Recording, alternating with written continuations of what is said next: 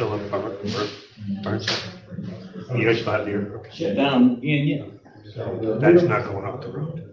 Unless you- Yeah, so for the most part, you're looking, People out there working. you're looking to see it. And like I said, the So, last meeting. What's that? Um, um, um,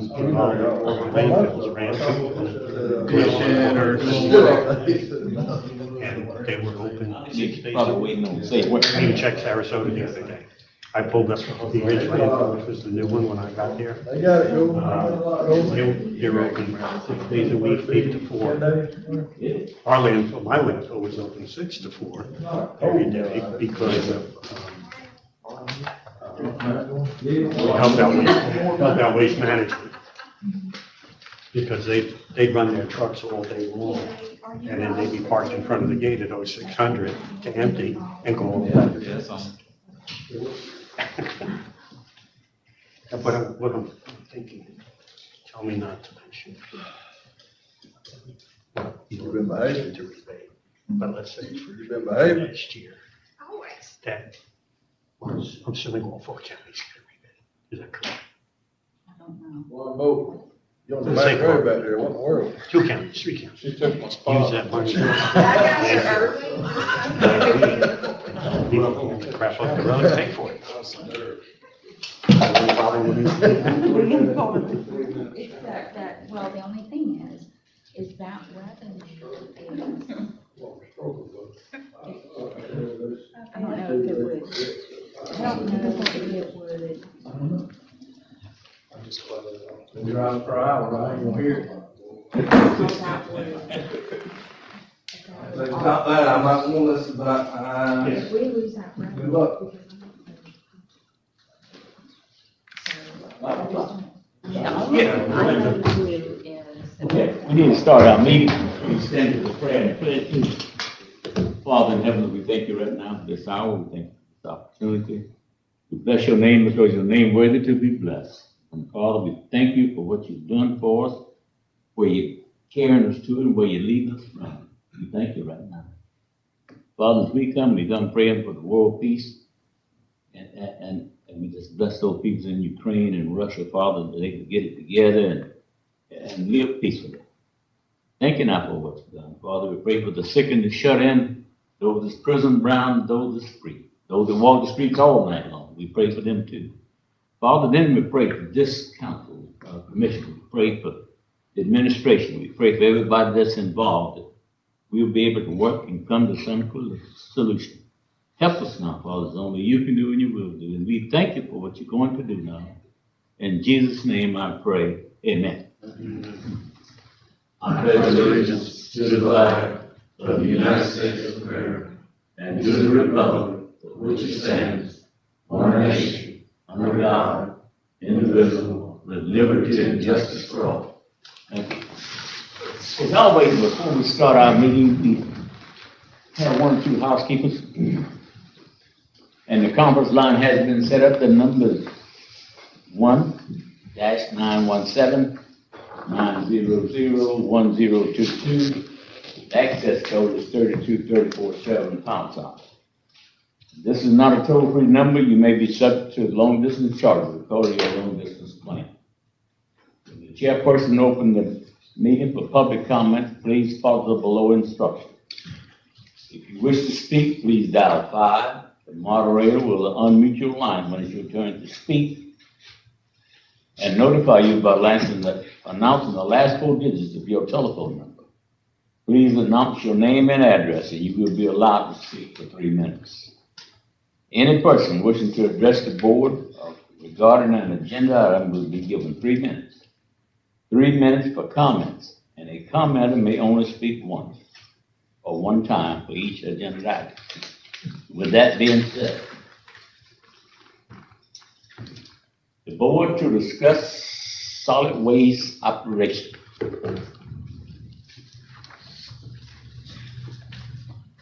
Commissioner Moody will be here in just a few minutes. Yeah. Let me check on Commissioner Siegel.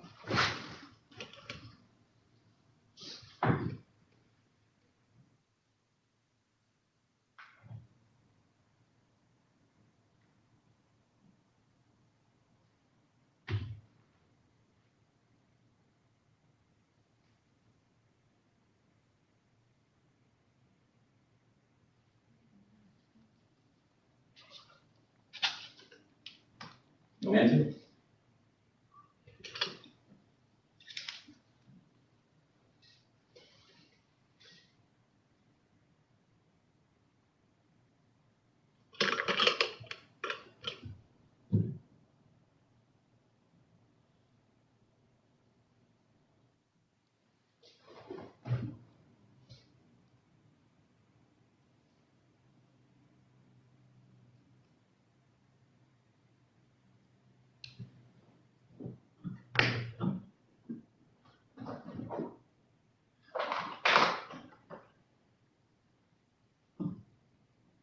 No answer, but I texted.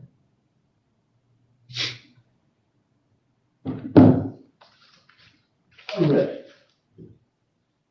The board to discuss solid waste operation. You wanna go first? Um, I can follow up on some information that was requested at the last, um, workshop. Okay. if it pleases the board. Uh, so there was a discussion about, um, the potential cost savings if every roll-off site was closed one day a week. Okay.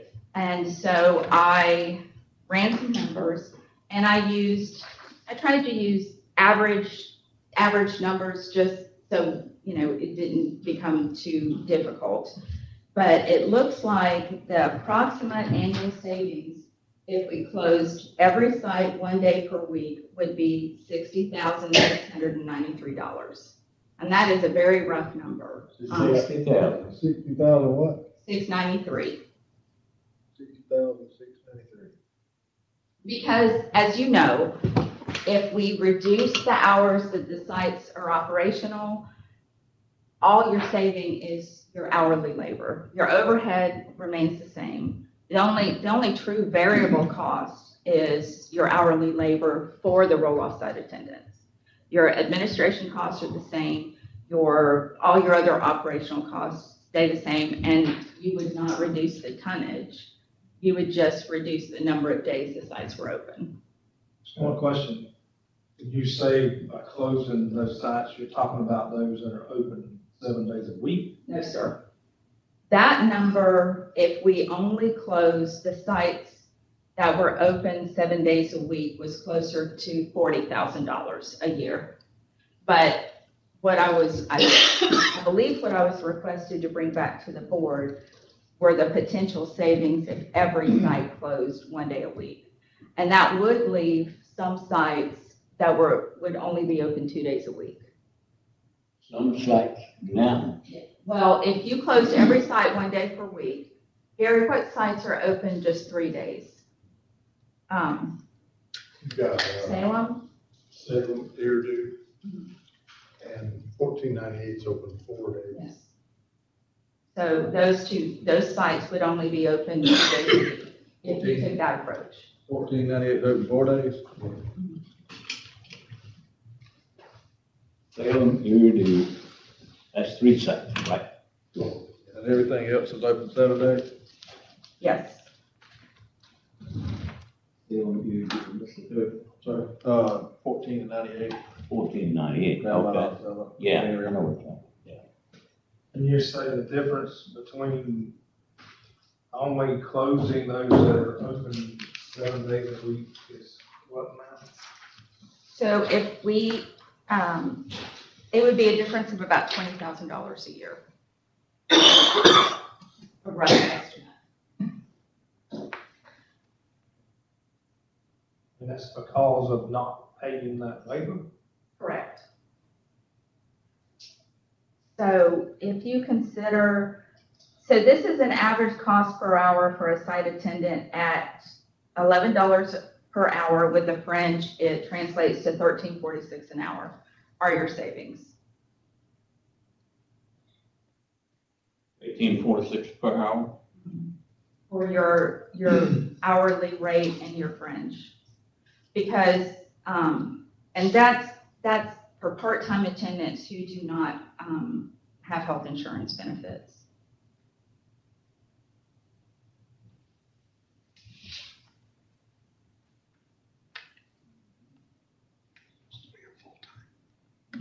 If you lost No, I just used the part-time because I didn't want to Yeah, I got overinflate the number. So as I said, that's, that's a pretty rough draft. So, let me ask if I understand that, for those sites that are operating seven days a week, that's with different personnel? Yes. Or are those full-time positions? So, um, so it depends. You got three full-time, Right. well, two, and then fourteen ninety-eight, she's full. Yes. Yes, you got Salem, I mean, Steinhatchee and Carlton. Or full-time. And both, and just one attendant at Carlton is full-time? So how many sites do we have altogether? Eight? Nine, No, it's not that. nine sites.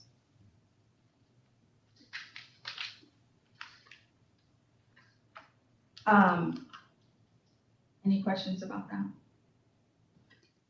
So obviously, i- if you wanted to, for ev, so if you wanted to close sites twice, two days a week, you would just double that number to get a rough estimate of the cost savings. Potential Well, if, if you do that, you're saying you're only gonna operate these three sites one day a week? I'm just saying, I- I'm not suggesting we do No, no. I'm just trying to understand the logic.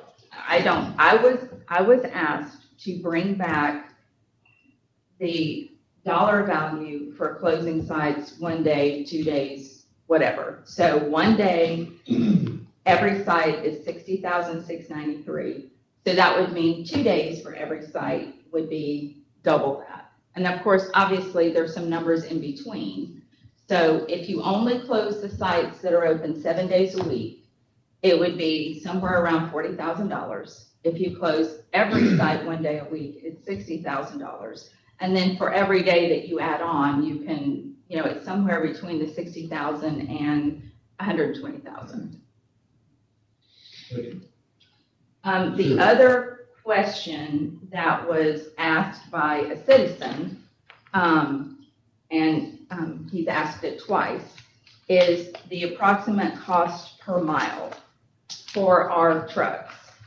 Um, and that is estimated for the, um, the vehicle cost and the drivers only, um, to be somewhere around two dollars and forty-three cents a mile. And that's again, a very rough number. You include fuel? Yes, sir. So what I did, this is how I came at that number, and that's why I say it's so rough. We don't, we don't use the cost accounting method here. So what I did was I asked for a report that showed September fuel. Only diesel was two thousand sixty-one gallons. Our average mile per gallon for the, the roll-off trucks is five and a half miles per gallon. So that's how I came up with the projected number of miles per year, which is what I use um, to come to the approximate cost per mile. So we calculated the driver's salaries and wages, diesel fuel, lease payment for one truck, insurance, just the auto, um, the general auto and the auto liability, the repair and maintenance of auto, and the total was three hundred and thirty-seven thousand dollars and some change. And, um, and, and so the approximate annual miles is hundred and eight, thirty-eight thousand nine hundred and ninety-six for three trucks. Because the other truck and driver are charged to recycle. So that's how I came to that number. And then the other request, I believe, was um, to do some um, investigating into uh, curbside pickup. And I don't have, I, I'm hesitant to quote numbers from other counties that may not be, um, that may not be accurate as far as what we could expect to pay. But I can tell you that Suwannee County, um, back in April, I believe, um, advertised a- an RFP. And, um, I will say that if that's something that we wish to do, it would certainly be pretty simple to customize.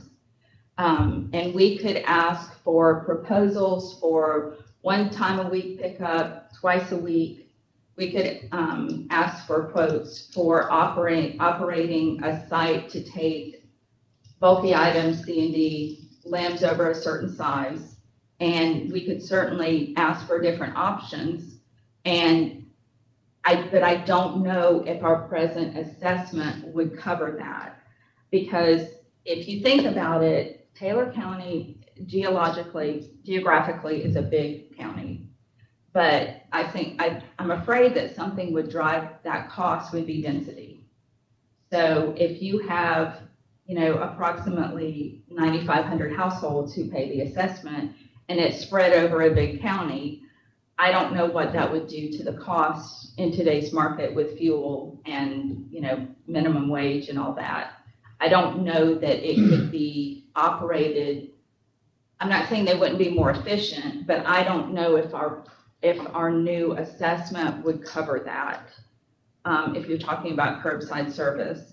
Now, Gary's gonna try to help me remember, and I look back in the minutes, I do know that, um, Mr. Lakey brought a number to the board some, some number of years ago. Commissioner Moody, do you remember what that number was?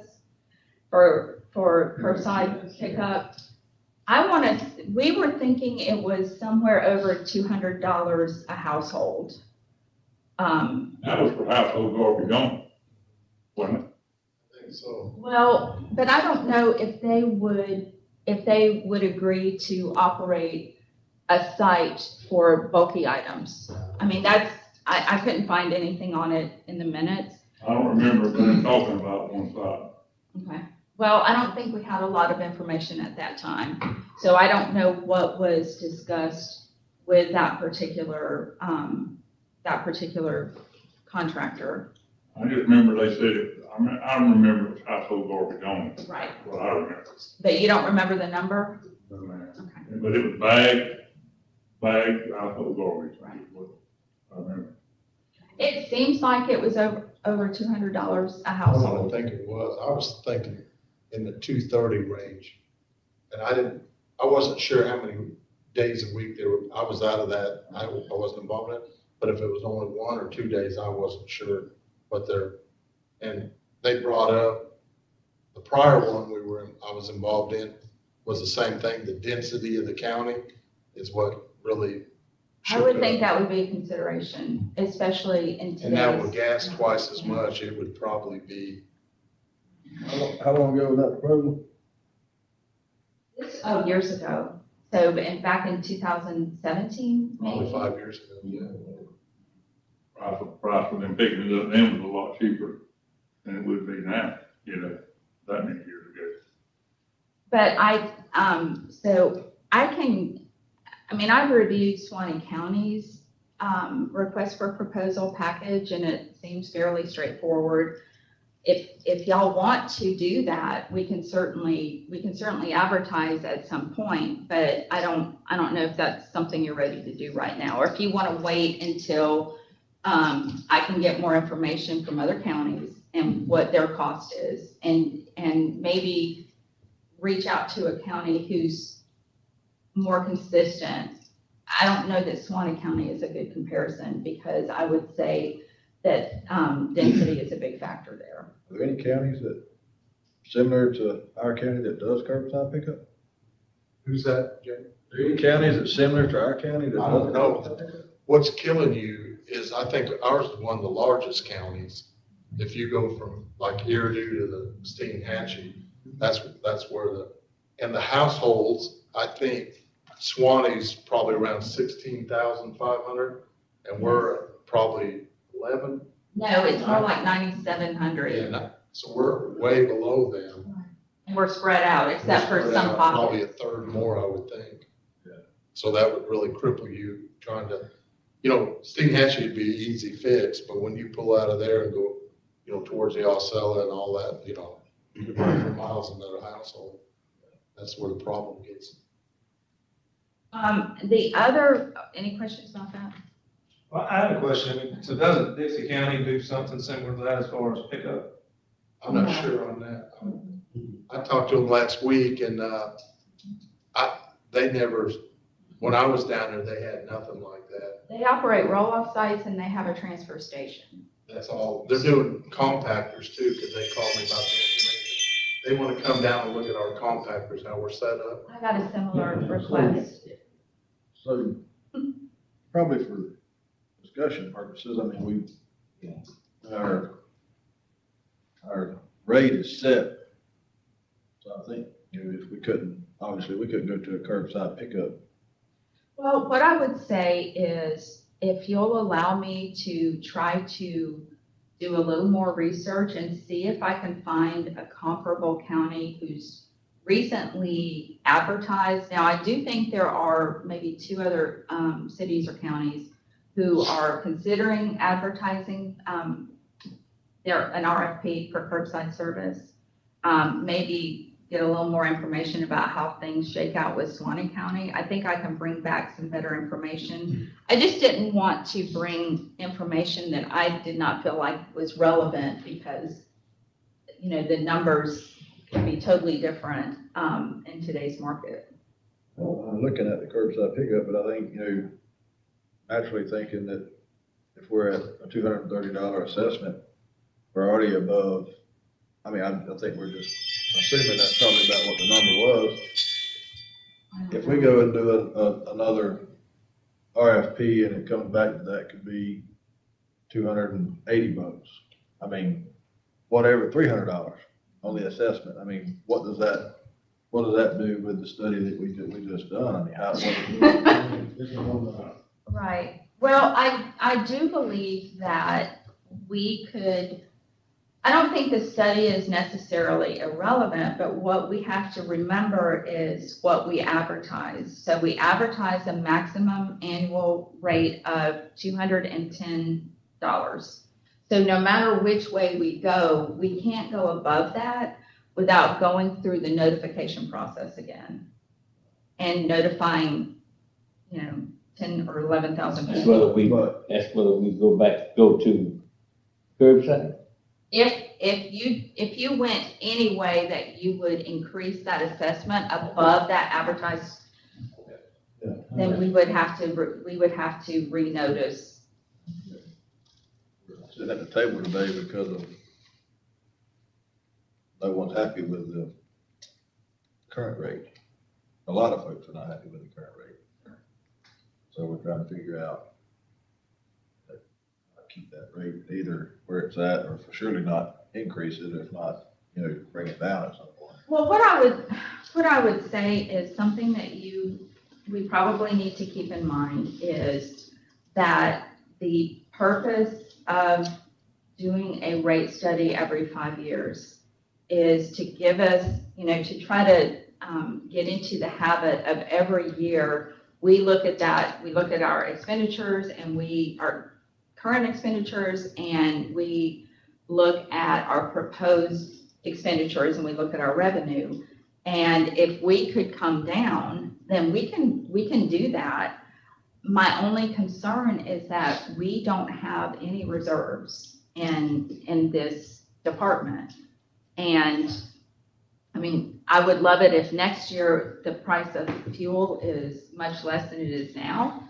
And we were able to go down on the assessment, but we do need to, we do need to consider that we may, we really need to build those reserves up if we can to, to some level.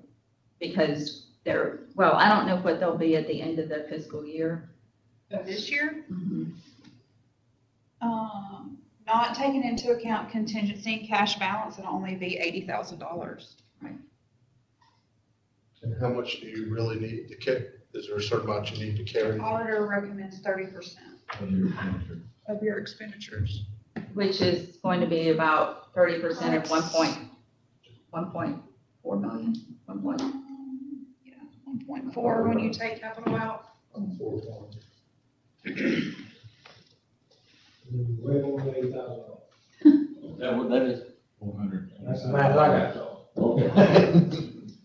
That's, uh, okay, I'm, uh, Uh, Um, just to tag on to what Lawanda said, uh, about putting out an RFP for, uh, curbside. Remember, I brought you a number last meeting, I'm sorry I didn't bring my notes. Uh, think of what you pay, I don't know who lives in the city, Mr. Demps, you might, what the city people pay for a year for curbside plus once a month pickup of limbs and C and D in a nine, nine square miles area. And it is close, to I think it was close to three hundred dollars a year. It just, to tag along with what Ms. Lalonde was saying. Keep that in the back of your mind. As Gary mentioned, we're spread out. And if I may suggest, um, about fifteen years ago, when this came up, I think it was even before your time, uh, I went up to Brooks County, Georgia, and spoke with them and took a ride around the county. And they have curbside. But I mean, we drive for miles and all of a sudden there'd be a house. But I can't give you numbers from that long ago, but they've had curbside. and I don't know how big Brooks. Just, just an I mean, idea. it's a consideration and it wouldn't hurt to, to advertise and to get the numbers, but I just don't know if, if y'all are at the point, um, City pick it up once or twice a week? City pick up twice. Twice. And then they pick up large items. Large items once a month, once a month. The city picks up twice a week. twice a week, yeah. Monday, Thursday, Tuesday, Friday. And then I think on Wednesdays, once a month, and they got the city broken up into four districts, I believe. So if you don't get it out, you're stuck. Now, speaking of large items, we did, or Gary and Hank did run a test on trying to crush um, loads in a container um, at Carlton Cemetery. And do you want to talk about this, Gary, or do you want me to? Okay. So so if you recall, uh. If you recall, at our last workshop, I gave y'all pictures of one of the containers with the bulky items in it. And so the average weight of those containers was probably a little over three tons, because one was three point eight five and the other was two point six one. And so, um, they, um, had to crush the items in the container five times to get close to six tons, which is about double, um, about double what you can, can get in a container. Um, we, we did bend one container, right? And it was a little bit of a challenge to get the materials out, but we did it. So Gary and I, I did some very rough math. And if you look at you know, the average loads a year from Carlton Cemetery, the way we figured it is there are somewhere around seven hundred and nine loads a year. Approximately half of those loads are not compacted. And we, we're not worried about metal or, you know, any, any of the white goods because they don't go to the landfill. So that leaves half of the loads statistically that are not compacted. So, um, so that's three hundred and fifty-five loads. And then if I divide that by two, because we were able to double the amount, the weight in a container, then that's hundred and seventy-seven point five fewer loads in a year. Now, if you multiply that by a round trip to Osceola, which is somewhere around sixty point four two miles, and you multiply that by our cost per mile, it comes out somewhere around ten thousand seven hundred and twenty-four and fifty-five dollars in savings a year, ten thousand. And that's only at one site. So I guess the question is, you know, I, I think the correct piece of equipment that we would want to use to do something like that would be more like a knuckle boom. Because you can control, you know, where that compaction is coming from. And I don't, I'm going to guess the cost of a knuckle boom, Hank said he thought it was around hundred thousand dollars. A hundred, I think, and a hundred and thirty. Right.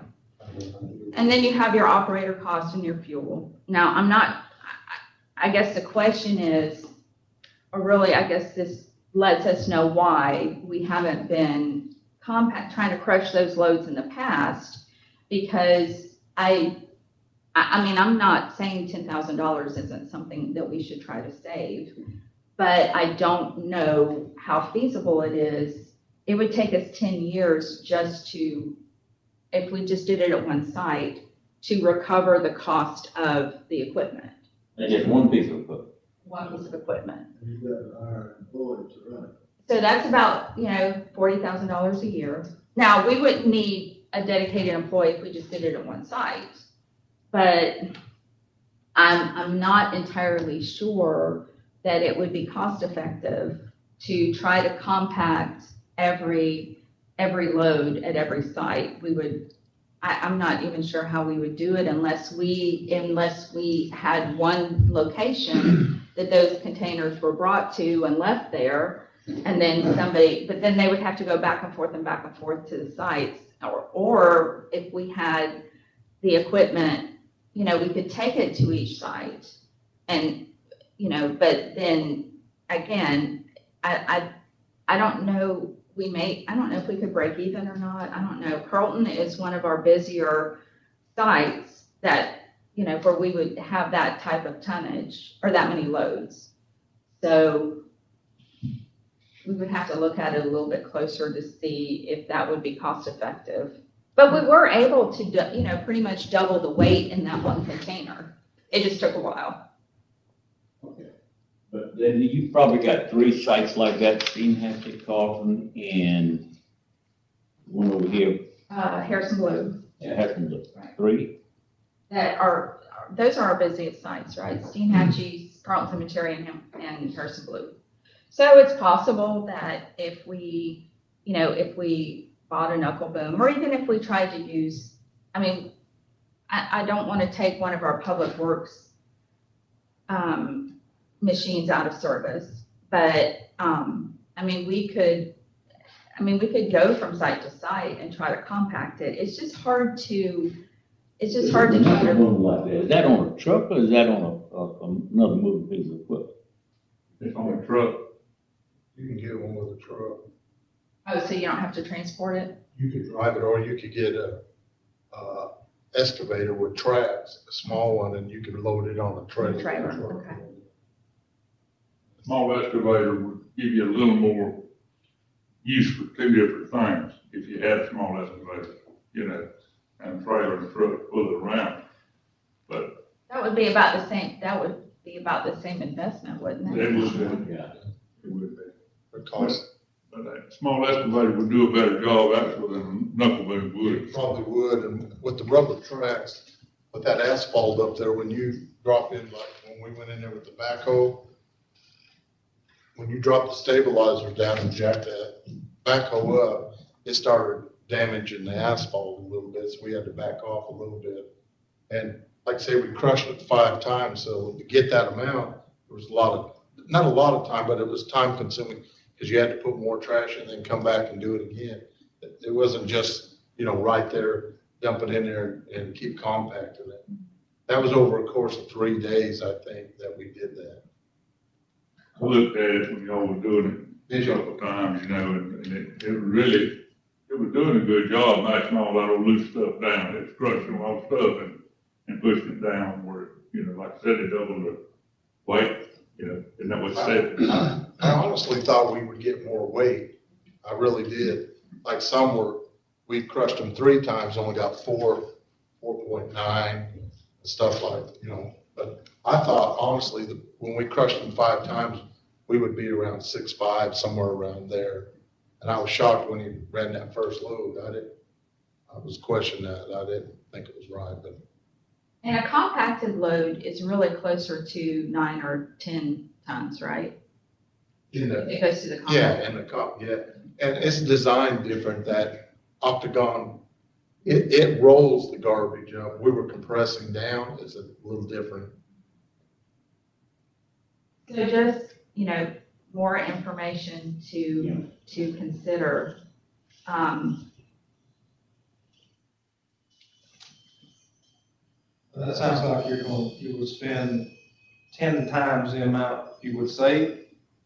Basically. do that at one site. I'm just saying rough numbers, and not Well, if you did that at one site and it was a busy site, that would be hundred and seventy-seven fewer loads. Sound like to me, we got to come back, we got to bring the sites, do away with the sites and put, make the sites bigger at, at one point to really save money. Because you're saving labor and all by doing that, you know, somebody have to drive a little farther to get to a site, but, but uh, there's, I think, the whole thing, the only way you're gonna do it is, is bring it to just a few sites. Okay, uh, that's my feeling on it, you know. Just scattered all over the county with these sites is, is, is, is a lot of fuel and a lot of labor and a lot of. Some sites don't even hardly have nobody going to them, but they're man you know, and we gotta get garbage, but. I mean, for instance, take things like that on fourteen. I have never been to that site when I, when I stay down that way a lot. Never been to that site when I had to wait in line to get to the compactor. I mean, never seen nobody yet when I pulled up there, you know. I'm not trying to cost nobody their job, what I'm saying is, we got, my feeling is we're gonna have to bring this thing together, just a few sites and, and, and, and really concentrate on doing the best thing we can with those few sites. Well, and along, I mean, along those lines with our chronic, um, challenges with keeping those, the, every site manned.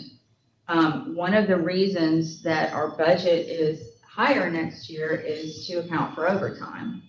Because we, we cannot, it's, it's very difficult to man the sites. I, if the sites were, say, closed on Sunday, Sunday is the, your biggest challenge, right? Yeah, because they like to go to church on Sunday, you know, and, uh, I can see that. I mean, and if you check around the other counties, normally they take Sundays off. They shut them down. We, we did something on that, but it only impacted six sites. That are seven days a week. Yeah.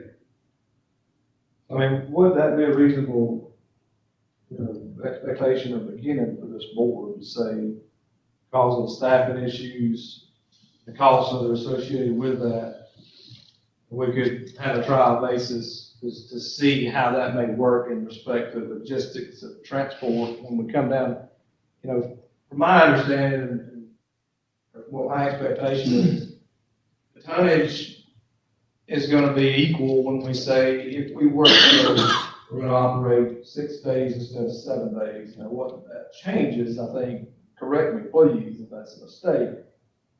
But I think the difference might be some of your overtime hours versus not, or the struggles to get folks to staff in position.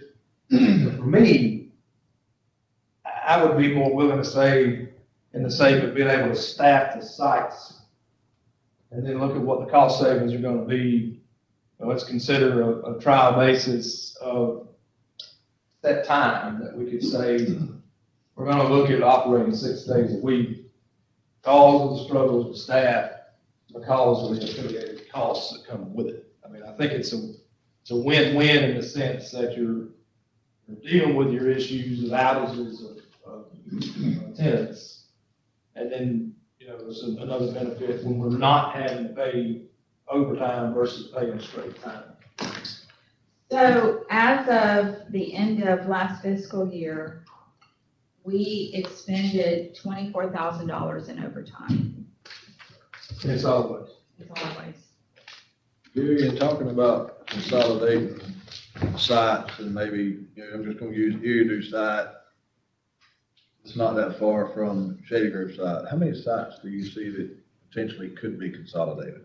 Well, I know, you know the low traffic areas and, you know, I, I really think fourteen ninety-eight for them people down there need to stay open. I, I'd agree. Yeah, I, I think that Salem, you could look at it, but we could do a count how many people come in there. It's real low volume. The compactor there at Salem, we pulled it today and we won't pull it again till January. So, That house don't go, right? Uh, that's not, that's not, uh, accurate, because some of the times that garbage is put It is, On the it hill. is, what I was stating So is. so that's they may a only- misconception. They may only have fifteen people a day come into the site. Will certainly be low volume, but I think stretch on time frame doesn't account for the times I've been told myself. Put it up there on the hill and it's not compacted. So I'd be careful about jumping to a conclusion because it appears that it's gonna be sixty days before you move that. I don't, I don't think that's a fair Well, representation. Well, let's look at the numbers. Hold- Let's, let's look at the many numbers. Cans we pulled. That'd be- Yeah. Well, I understand it, but let's also look at that distance from where if you consolidate that, those folks are gonna go to. That's- I- that's that's what- what I'm, I'm, I'm stating the fact, the low volume areas is the first place you're gonna look. And Eridu is a prime example. Okay, so let, let's look at the numbers. Hold on.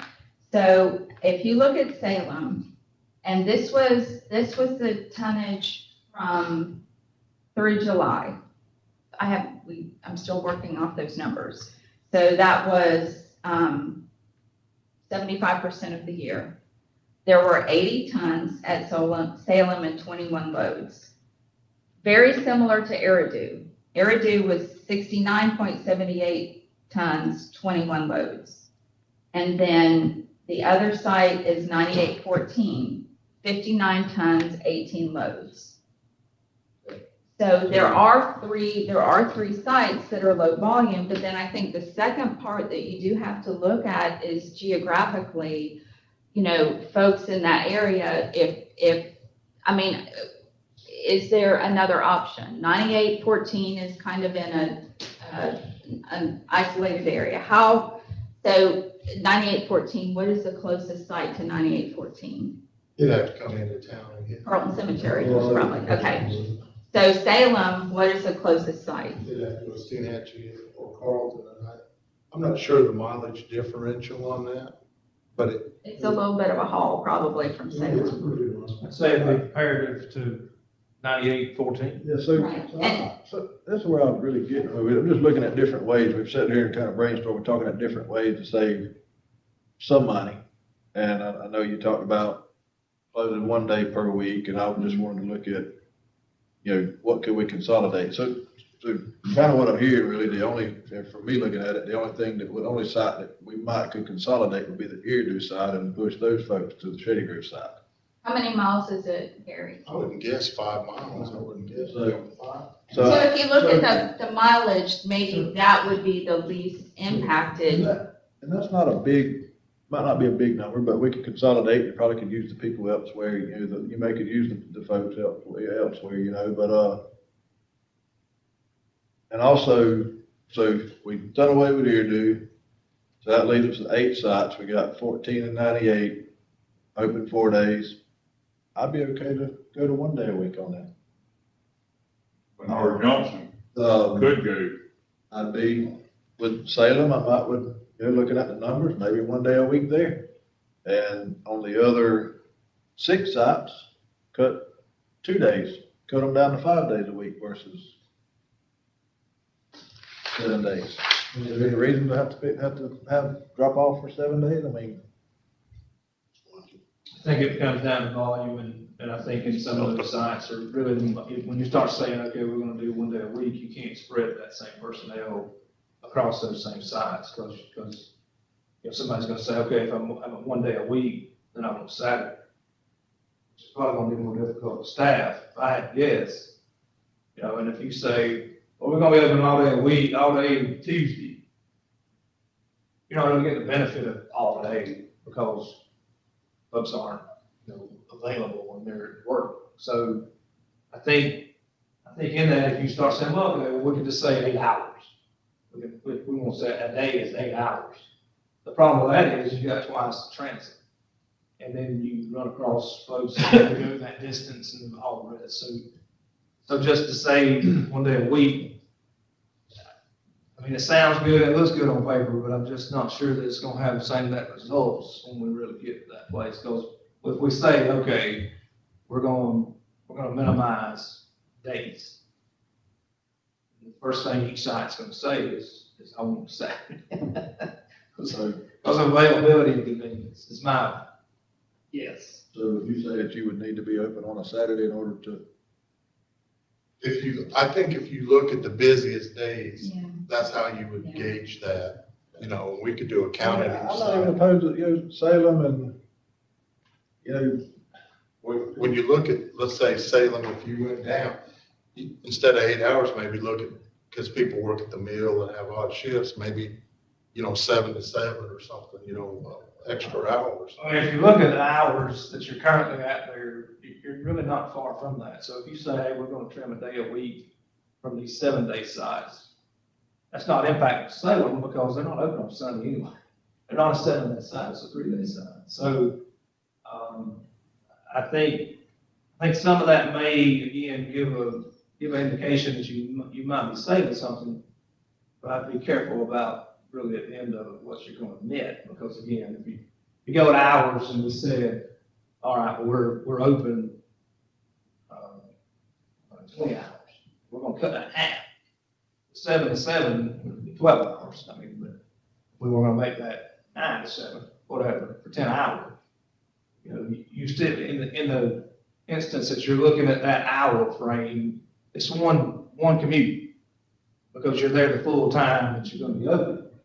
I think the, the disadvantage to that is if we're saying we're not gonna be open on Sundays or, on- which is obviously the weekend, I don't think you get the same, uh, availability of, of the site being open and folks being in a place that they can use the site. so on the six that are seven days, you open them five days a week and bring in the same trash and get the same job done? Tuesday through Saturday, usually Tuesday through Saturday? We could, we could try it. I mean, there'd be, if you looked at Carlton, for example, they have a large volume there. I mean, it's. We would just, there'd be a lot more volume coming in in five days because it'd be compressed. But I ain't saying we couldn't do it. I'm Yeah, not sure. but think about that intersection there. Remember during COVID when we cut down the hours? Highway, yeah. It was, it was, it, we had some traffic hazards and I can't recall how many days we, when we started opening back up, how many days that was. It was painful. It was, and people were, I mean, that, that intersection got jammed up pretty quick. I think we had to leave the That will do to what? That will do to what? Go back up all the way to the intersection on Puckett Road there, trying to turn into the dump. So during COVID? That was during, co- there was a short period of time that that we were, there was three weeks, I think, where we put the containers on the outside of the gates because we did not have PPE, you know, that was at the very beginning of COVID and there was a supply chain issue. So we basically just shut down operations, put the containers on the outside of the gates and for several weeks. But then when we opened back up, we, um, I think it, I can't remember how many days a week it was that we opened back up. But it was, it was, it was a little painful at that particular site because it's so It was busy. about like trying to buy toilet paper at Walmart at the same time. That's And that's the only one I can think of where, it was jammed. besides Steinhatchee maybe, where, Steinhatchee was a little bit, but I don't think at that volume. You're talking the site was completely, pretty much shut down for three weeks. I mean, you're talking still having the site open for five days a week. yes, sir, I, I understand what you're saying. I, I, that, I just wanted to bring up that sometimes that we had experienced, um, so a little bit of a traffic issue at that particular site. Um, because there was nowhere for cars to stage, you know, while, while they were waiting for the site to open. And I know that if Steinhatchee, if we ever have an issue where a site doesn't open on time, the cars will be lined up all the way back to the highway. Um, just because there's not, I mean, they're just very, very busy sites and there's not a lot of room for people to wait. From the, the, Steinhatchee, Will Springs is now the gated at the highway. Well, that's correct too. That's a little bit more complicated as far as. Yeah, Blue Springs isn't quite as busy, but you're right, If that, you got enough room for one log truck, that's how we gauged it, a truck coming to in. turn in, right, so maybe two vehicles without trailers or so. or so Hey. feet. once people got used to it, I, I mean, I'm sure we could overcome that. You know, I, I, just for, I- I know it's Madison County. I know, I don't want to use the word Cadillac again. But anything you bring in, you can kick it off you, you said, Madison County, anything you can pick up and put in the garbage, they accept. Correct. And I think that's the difference in, now, even Madison County moved their site from where they used to be. We need to look at some real estate and see where can we use, better utilize putting a, a, a site rather than, we don't have to stay in Carlton, I don't recognize. Is there a better site than Carlton? Uh, now, are you, you're speaking of if we Moving the had, site, Yes, moving the site somewhere else, you know, because it's there now, it doesn't have to remain there. We've got, we've got a piece of property right at the airport could be used for a bigger site, right behind the airport. Where the, you know, that, the county owns. There's about ten acres in that area right there on the, can't, on the, where it used to be the, uh, fenced off area where the, Any kind of development authority was? no, it's, uh, it used to belong, the county got it back, it's right there on the backside of the airport, it's about ten acres between, uh, Mr. Swain's farm and, and the cemetery right Next to there. the cemetery, yeah. Yeah. I know what you're It's about ten acres there. It's between the cemetery and Mr. Swain's fence there. Yeah. That's on the same, same side of the road as the airport. But, uh, Georgia Pacific, I talked to them about giving us more property to Carlton. And they, they were fine with that if we work from, you know, we work with them. They, they said they'd give us more, more property there. I think you probably just referring to that intersection, being close to that intersection. I was down there the other day, and it looked like they had a couple of hogs or something over there just across the street. Somebody put a big bull hog out over across the street. You know, that stuff on their car. Yeah, I wonder when that opened, when that happened, you know? And they, they, nothing wasn't open, they just let it go straight. Oh. That corner gets a lot of, during hunt season, it gets a lot of buckets of guts and idiot over there, because they can pull off the road and got a little cover there, they just pour them out, you know? Well, and, and still the unresolved, I think one of the reasons we started discussing solid waste is that at, at some point, we do need to try to come to some type of solution for, um, taking, taking limbs. Now, let me clarify with the limbs to make sure we're all on the same page. We can take limbs that are four inches in diameter and four feet long.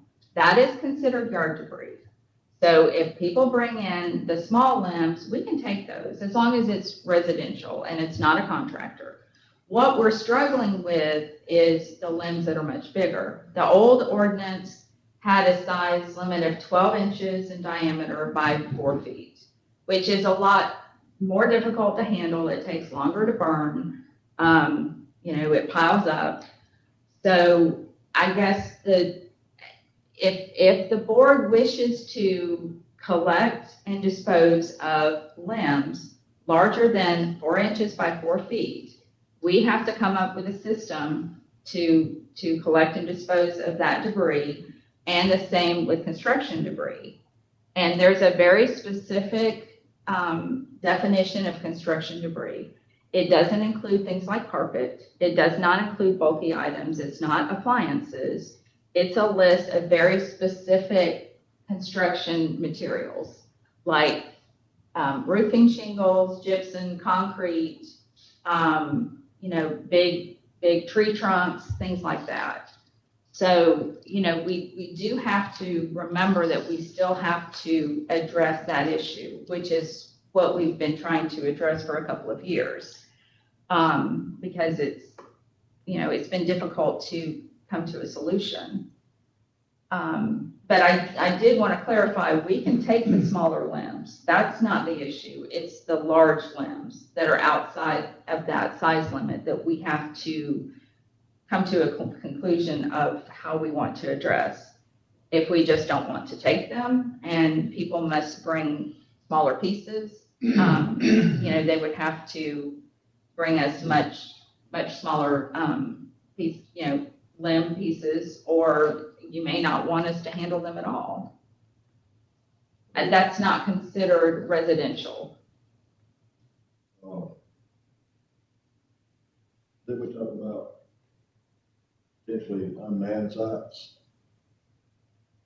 we're looking at unmanned sites, I'm not, we probably couldn't do, probably couldn't do Carlton, Steinhatchee and, uh, maybe Harrison Blue.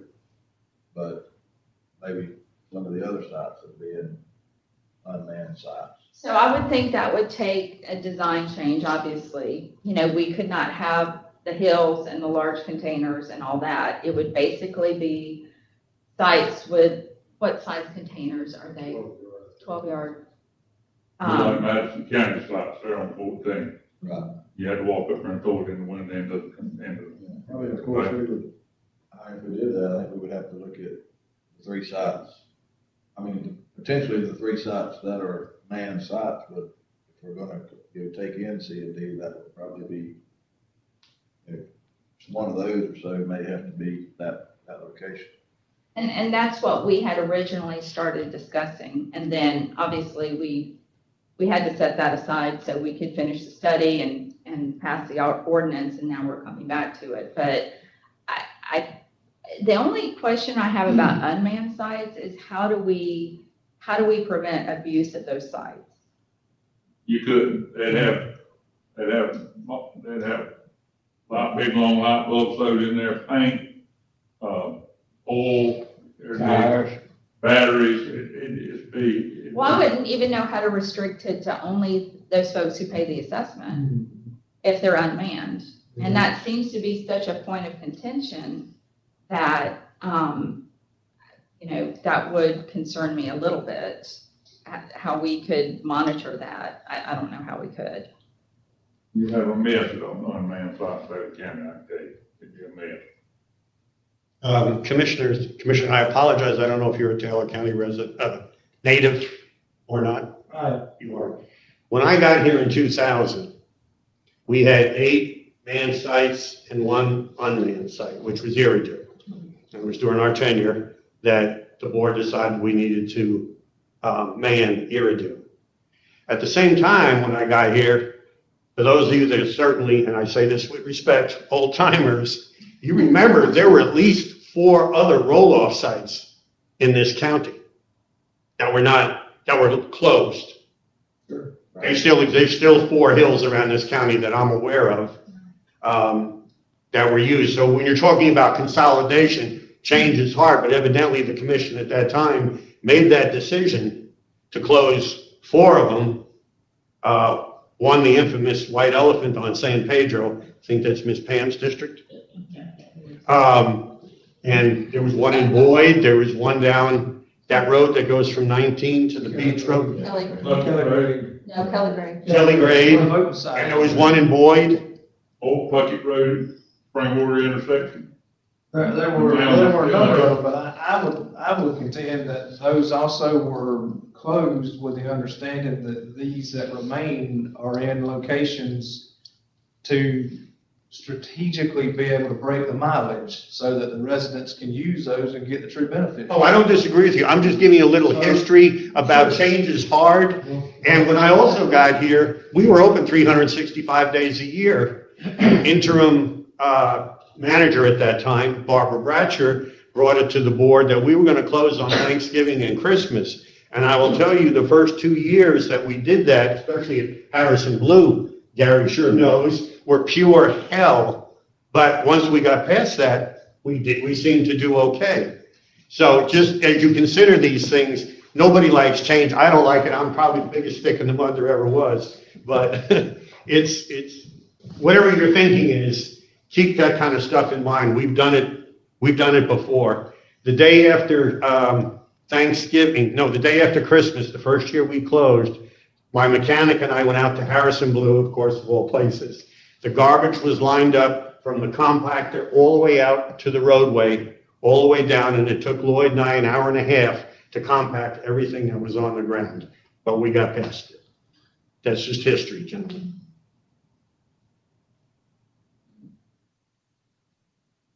It's almost impossible with the system we got here and what people used to, to have unmanned site anytime in the future, I, I I feel. think you'd be inviting a lot of liability.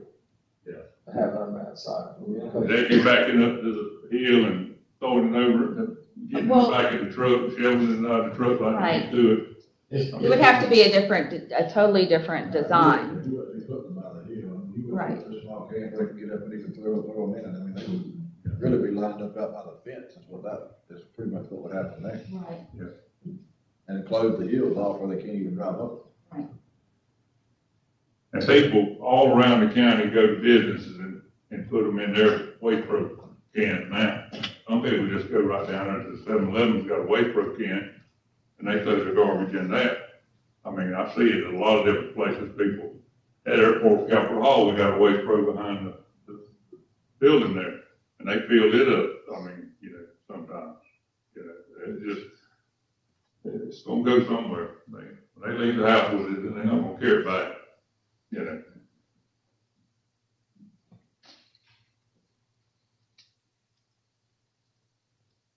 And I would say, you know, the thing to keep in mind that, you know, when you reduce hours, again, what you're saving is your, your hourly labor. And that's, that's the extent of it. So it's somewhere around fourteen dollars an hour for every hour that you close a site, unless I'm missing something. I mean, that's really the only, the only cost saving and, and potentially overtime. You know, if, if, um, if we could cut down on overtime, that's a potential savings of twenty-five thousand dollars a year based upon the last fiscal year, what we we spent. And that's just from having to staff these sites with full-time employees who are willing to, to work the sites. If you cut them, if you just took the sites and have every other day open, people would get used to it, they just know every other day the site was gonna be open. Mm-hmm. I mean, that would, that would be, I know, I think that would be a big savings, you know, every other day. Tuesday, Thursday, Saturday, Yeah, that's what I would think if you were gonna do that. Tuesday, Thursday, Saturday. But maybe have them open longer hours? Well, I mean, Seven to seven, you know, just to make sure everyone has an opportunity. to get there. But I do eight to seven, I don't, I mean, some make it early, I guess, but That'd Or be a even big if they were savings. open ten I guess seven to seven, folks could run by the dump on the way to work. Mm-hmm. Still gonna have the same amount of garbage going, but it'd just be open half the time, every other day. You know, you got sites open seven days a week, I mean, it cuts it, cuts it down, you know.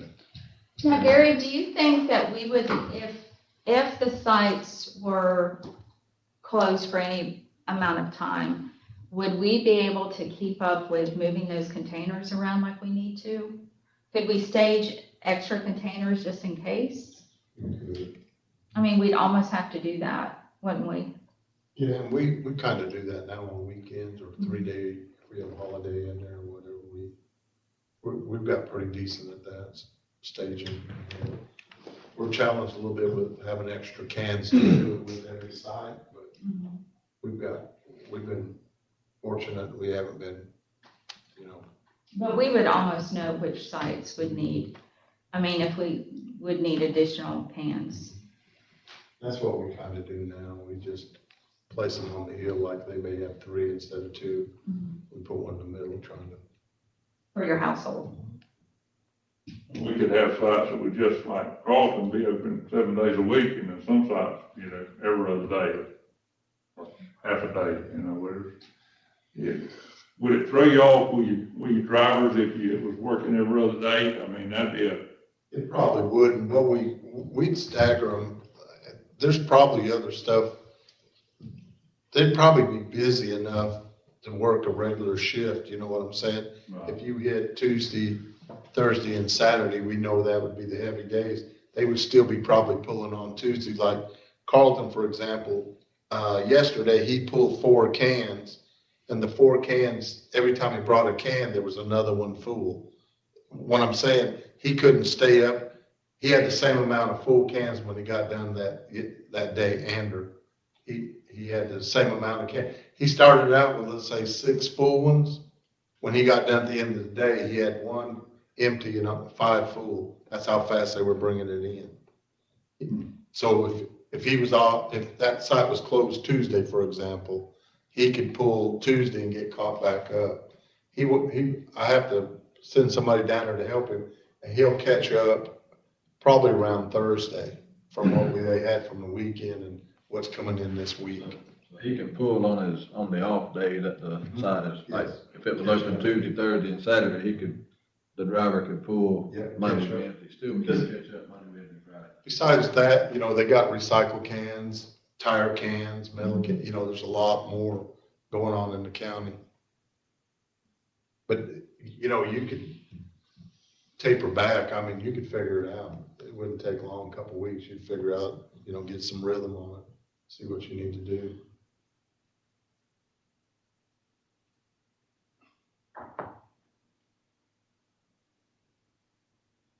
So you were gonna mention something about a trial, doing a trial.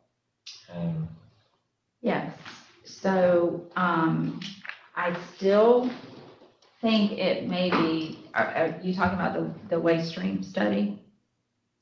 I- you just said you were gonna, uh, you, you, you and Gary talking about a trial. So I think what that is referring to is the, the, the one-week waste stream study at Osceola, when you can spare an employee. I think that would give us a good idea of, of what composition of our waste stream is C and D, or is, you know, some limbs end up at Osceola, right? Um, what's household, what's, you know, we would have a better idea of what's really going into the site.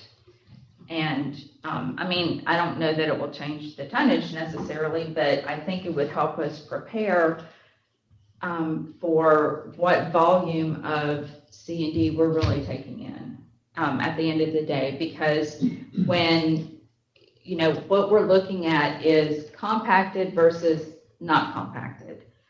And there's numerous reasons that it may not be compacted, and we can't assume that that is all one particular material. We don't know what it is. So as far as trying to plan for, um, for charging for C and D, I think it would be helpful to know what percentage of our volume really even meets that criteria. And, you know, and I don't know what can be in a mixed load. I mean, if someone pulls up with a trailer full of material, there could be something, you know, at the bottom of the pile that the attendant doesn't even see. And that would give us a little bit of an idea of the percentage of our tonnage, you know, what that would be as far as C and D versus household versus, you know, limbs or whatever else ends up at the site. And that's something that we can plan. As soon as we can break somebody free, Yeah, you know, we talk about the weekends, uh, through the week, my mechanic and the people in my office are running roll-off sites too.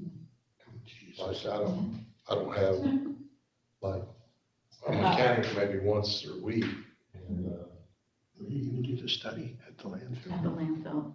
So just. You got contractual service money? Landfill, I'd be seven happy to days a do week? What, five, six? What would I be? Design it, I can. If it's just the one. That first five in Cross City, they must have luck with that, they do it. You know, they bring their cans there, is that right, Gary? They put them, they dump them all out and then sort stuff. They use inmate labor for that too. Yeah, and I, like, how, when that labor they use, is that something they pay for through the state on, or is that county, uh, Well, trustees, or? no, I believe it's from DOC and, um, but you have to remember, we can only have two, we can only have a total of three work squads within the county. Two of them, we already contract out and then the city has a work squad. They will not, so DOC will not give us another squad. That's just So that, that's not on the plate doing transfer station, really. If we're, if we would tran, if we would staff it with inmate labor, I think, I mean, I think that's how Dixie County, um, is able to utilize their, their site, and they don't expend any more funds than they do because they staff it with inmate labor. So, um, and I, they have a scale. They do, they charge on some material. But I believe, from what I understand, now some counties do take small amounts of dry bulky materials. So again, you know, if someone, if someone pulls up to a site and we look at our current ordinance and they have, they have, you know, small limbs, palm fronds, things like that, that would not need to go to the trans, transfer station. So we're, we're really talking about, when we talk about things like limbs, we're talking about anything bigger than four inches by four feet. So, and it's difficult for me to know the percentage of the small versus the large. Um, and do we, do we really want to handle that? Um, and I, it's hard for me to predict, um, you know, what folks would do with that material, or if it's, you know, or how often a resident would even generate that type of material. So if we're saying limbs or leaves, basically, four inches. Four inches by is four feet foot. is considered yard trash. And that doesn't account for a twelve inch or eighteen inch block that's four foot, as far as a tree. The limbs themselves is, is what I'm saying, not if I took Four down a inches by tree. four, right. So I would have to accommodate for the tree trunk itself. If I were to cut down a tree, I'd have to process the Yes. limbs that are smaller than four inches Right. into four foot lengths. And then the block or the main trunk of the tree wouldn't be accepted at the roll-off site. Right, and I went to the, I sent Mr. Wanda a picture of the other day. I took a picture of the sign, leaves and limbs. And then I put the camera over in the dumpster. It had a few limbs. It had metal, it had five gallon buckets, it had toys, it had stacks of uh, carpet and visqueen. I mean, and that whole back down, you got to have somebody up standing up on a hill Man, to man the hill to say, no, that goes in that one, this, you know, that piece of metal goes over in this number three or whatever. I mean, there's really no way to, without sorting it again and with all that labor, you never have it a clean load. You know, I mean, there's, there's no way that, that had everything under the sun in that one picture I sent. But, so that would be, that would just go in as household garbage. If it's small. Right. Um, I mean, it would be, we would be charged for class one household, household garbage. And you have to remember that with our present rebate, and I don't know if that ever changes or not, I'm, I'm not sure. But that is, that translates into about twenty-one dollars a ton versus thirty-four if we, if we separated the household, the class one from the class three. So really, you're coming out ahead, calling it all class one, We are. money wise. Because the rebate's only offered on the class one. And let them dump everything they want to in that, that class one thing, you might as well. Right. So I think when it becomes an issue is when a metal bin is, you know, contaminated or um, if it's limbs that could have gone to the incinerator but now have to go to the landfill is when it, I mean, it's still an issue, but I, I don't know that there's any value now in separating the class one and the class three, which I'm assuming is why we've done it that way for so long. I think if you've got them down to four foot length and four inches in size on the limbs, mm-hmm. you'd, you'd have a lot more weight in the containers when you haul them. To, you know, I mean, that, but you hauling that out to burn it. Hmm. But then again, what, what happens when you get the limbs out there, Gary, and you got trash in it, bag of trash? We have to dig it out. You just dig it out, Yeah, DEP will eat, eat you up if they come out there and see that. We got a container out there, we, we dig it out and throw it into a container. We got to sort through it sometimes. so that's labor, just Sometimes gotta we- sort through it, in other words, you gotta sort through every load goes out there anyway. They dump, we look at it, that sometimes they'll have treated lumber, people think you can burn it, they'll throw it right in with the limbs. You know, like a two before, whatever, you can't burn that. Can, can I ask a question? Yes, ma'am. If you had this, I guess this is called mixed use, what you're talking about.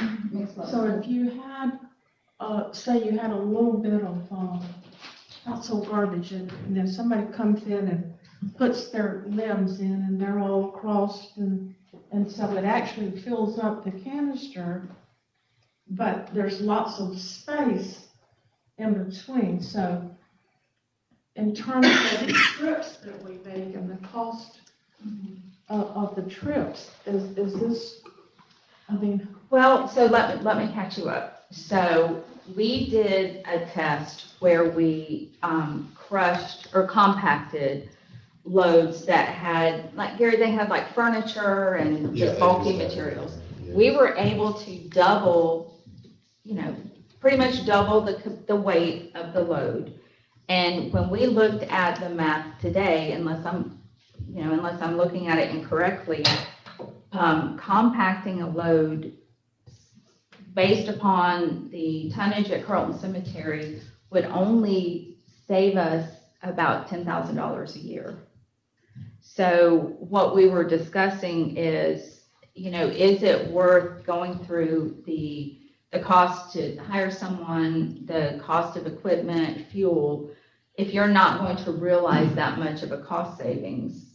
And, you know, I, I don't, I think we would have to try to devise a way to compact loads at every site for really to be, to really realize more of a cost savings. so that ten thousand, was that just for one roll-off savings at one roll-off? That was, that was something that we figured at Carlton Cemetery, which is a very busy site.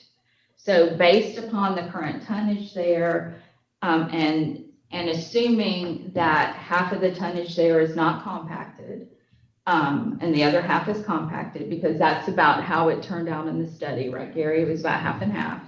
Um, and then, you know, we had to compact it five times to get that weight up to almost six tons.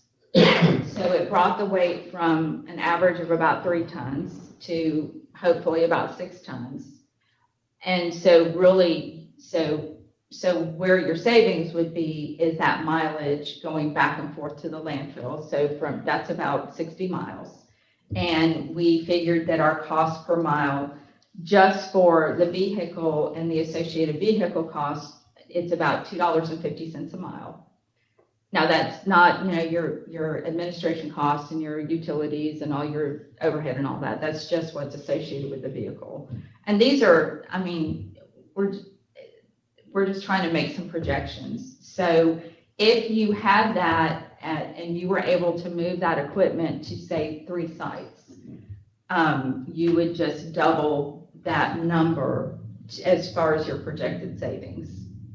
But then would we need to hire someone and spend more than what we would save? Okay, so the ten thousand dollars did not account for the labor that you would need to, to, oh, okay, so that's not clear. Um, I hate to use the word profit, but you know what I'm saying. Savings. Savings, yeah. All right. So, um, and I'm not, I- I hope that was where you were going with your question. Yeah, yeah, yeah, absolutely. Okay. I'm sorry I was late, y'all. I totally forgot about this meeting, be honest with you. I've been out in my yard having so much fun. So, so we did talk about, um, just, just so you know, we, um, I've looked at an RFP of a surrounding county and for curbside pickup, and we have some concerns with that. I don't know if our present assessment would cover what it would cost for curbside service, because from what Gary and I recollect, the last time we got a little bit of an estimate maybe to do that, it was over, it, it was not, it would have cost our residents more. And that Y'all would didn't do a current, um, um, survey to see how much it would cost now? Well, I don't know how to do that and make it apples to apples, because I looked at Suwannee County. They have not awarded the bid yet. And I believe there is another city and a county that are, are probably going to go out to bid soon. I think I need to get more information before I can really compare apples to apples, because, um, say Suwannee County, they have sixteen thousand five hundred households. We only have about ninety-three hundred or ninety-four hundred who pay the assessment. And we have a very large county, so, so where I think the, um, what drives the cost is probably density. And that's kind of what I recall before, that that was a consideration, because, you know, there's only several areas where people, you know, say Steinhatchee, where you have that density. Well, so if you have a big county, fewer residents, I don't know that you can truly compare the cost. I'm afraid that I'm afraid it would cost more than what our current assessment is, but that's just an assumption I'm making based upon what I'm afraid would drive the cost. And our assessment, even though it's higher than it used to be, it's still substantially lower than, say, Suwannee County. I think Suwannee is at 225 something like that. And that's household garbage only, isn't it? that's for household. Yes.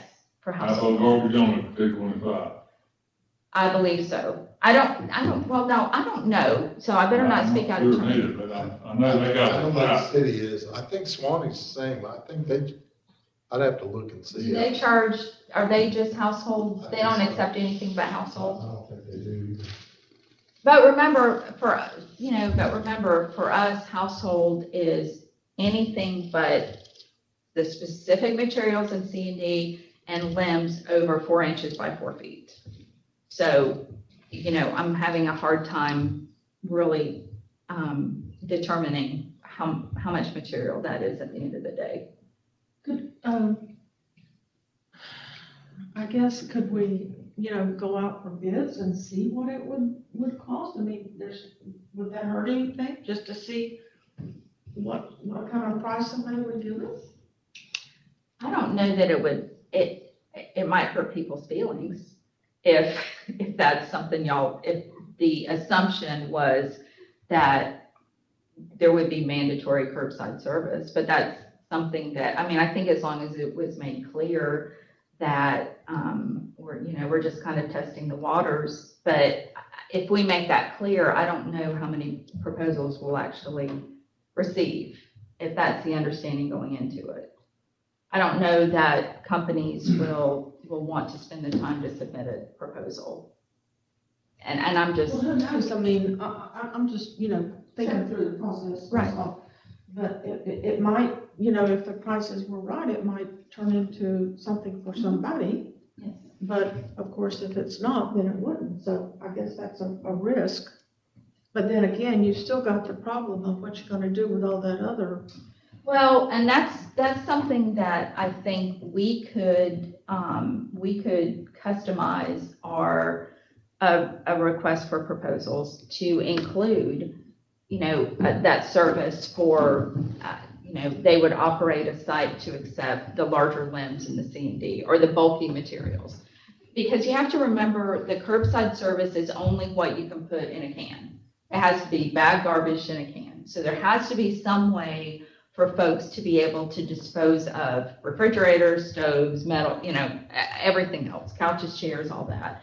So I, I do think that we could include in our RFP, um, that they must operate, you know, however many sites, um, for, for that type of disposal. But then I don't, but then I think there would be an additional charge to those folks. yeah, and I, I kind of, I, I mean, I'm thinking that if I was gonna, uh, submit a bid of something like this, that it would have sort of the same guidelines as we've got. I wouldn't wanna pick up four or five pine trees on the side of the road that have been, that have been cut up, you know, so. Right. So, and then we could customize once a week, twice a week, but there's got to be some way to, you know, for people to dispose of things that don't fit in a can that's on the curb. Because that's, that's really the challenge now. And I don't, I don't know how many of our services, um, offer anything other than the bags, the bag garbage in the can. But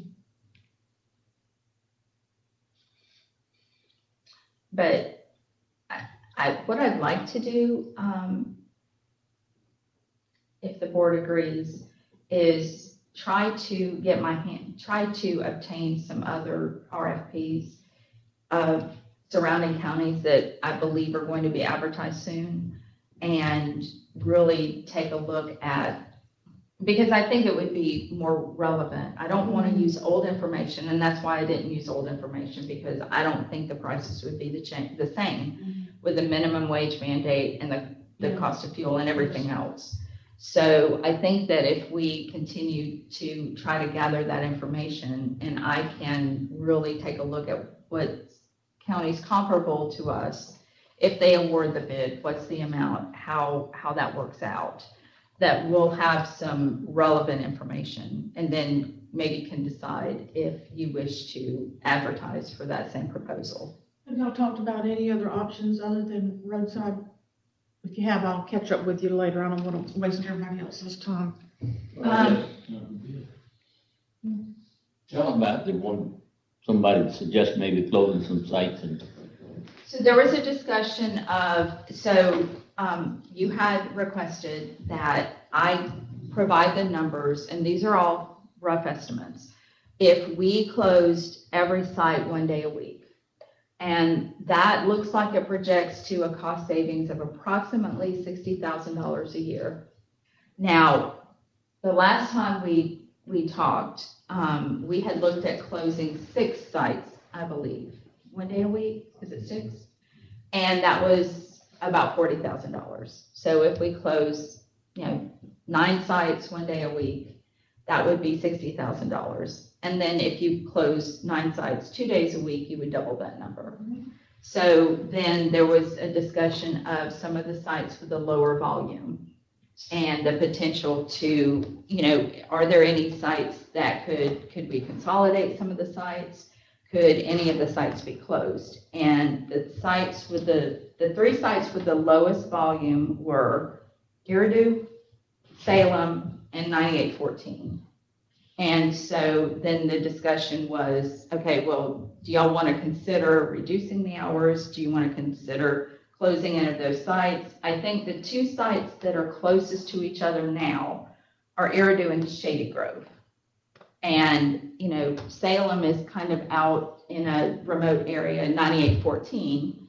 Those folks would have to come probably all the way to Carlton Cemetery would be the closest roll-off site. I think the folks at Salem would have a similar challenge. They would either have to come to town or to Blue Springs, Steinhatchee, or come to town because of, they're, they're in kind of an outlying area. So the, the only site I think that is geographically close to another site is Eridu. And that's within a few miles of Shady Grove, right? Yeah. And that's a low volume site. So you would potentially save just the, just the labor. Now, you Now, know, closing it, how, uh, what did you discuss of closing that? Da- Days or Close it, period. part of, part, huh? It's Closing it, period, right? Well, they, we talked about a lot of different things, Okay. yeah. But that, you know, just in the discussion, that site is really the only one that's physically, you know, geographically close to another site. And maybe the board could, could consider. But, you know, there are three sites that have low volume and, um, Salem, I think, is three day, is open three days a week now. Ninety-eight fourteen is four days a week and Eridu is three. So it's not a tremendous cost savings because they, they aren't open that many hours. Now, where we could potentially save money is in overtime. Because, uh, the last fiscal year, we spent almost twenty-five thousand dollars in overtime. We have a chronic shortage of roll-off site attendants.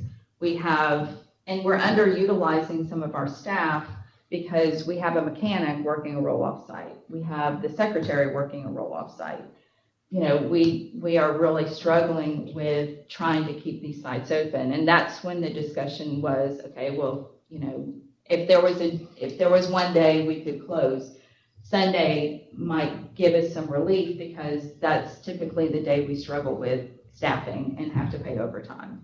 Okay, so what, um, with, um, you, say, using the, the secretary when you had to, what, what impact has that had? What kind of negative impact has that had on the organization?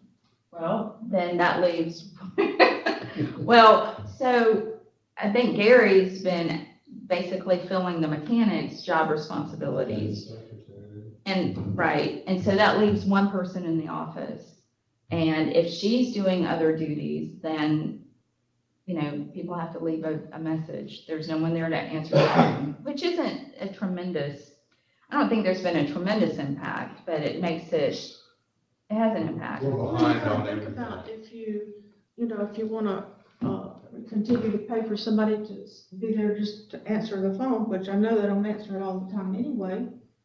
Or just, you know, at the end of the day, give yourself time to catch all those messages and get back with everybody. I mean, That- That's not all they do, though. They have, they gotta enter stuff, they gotta make scheduling, they do payroll. There's, there's a lot more involved.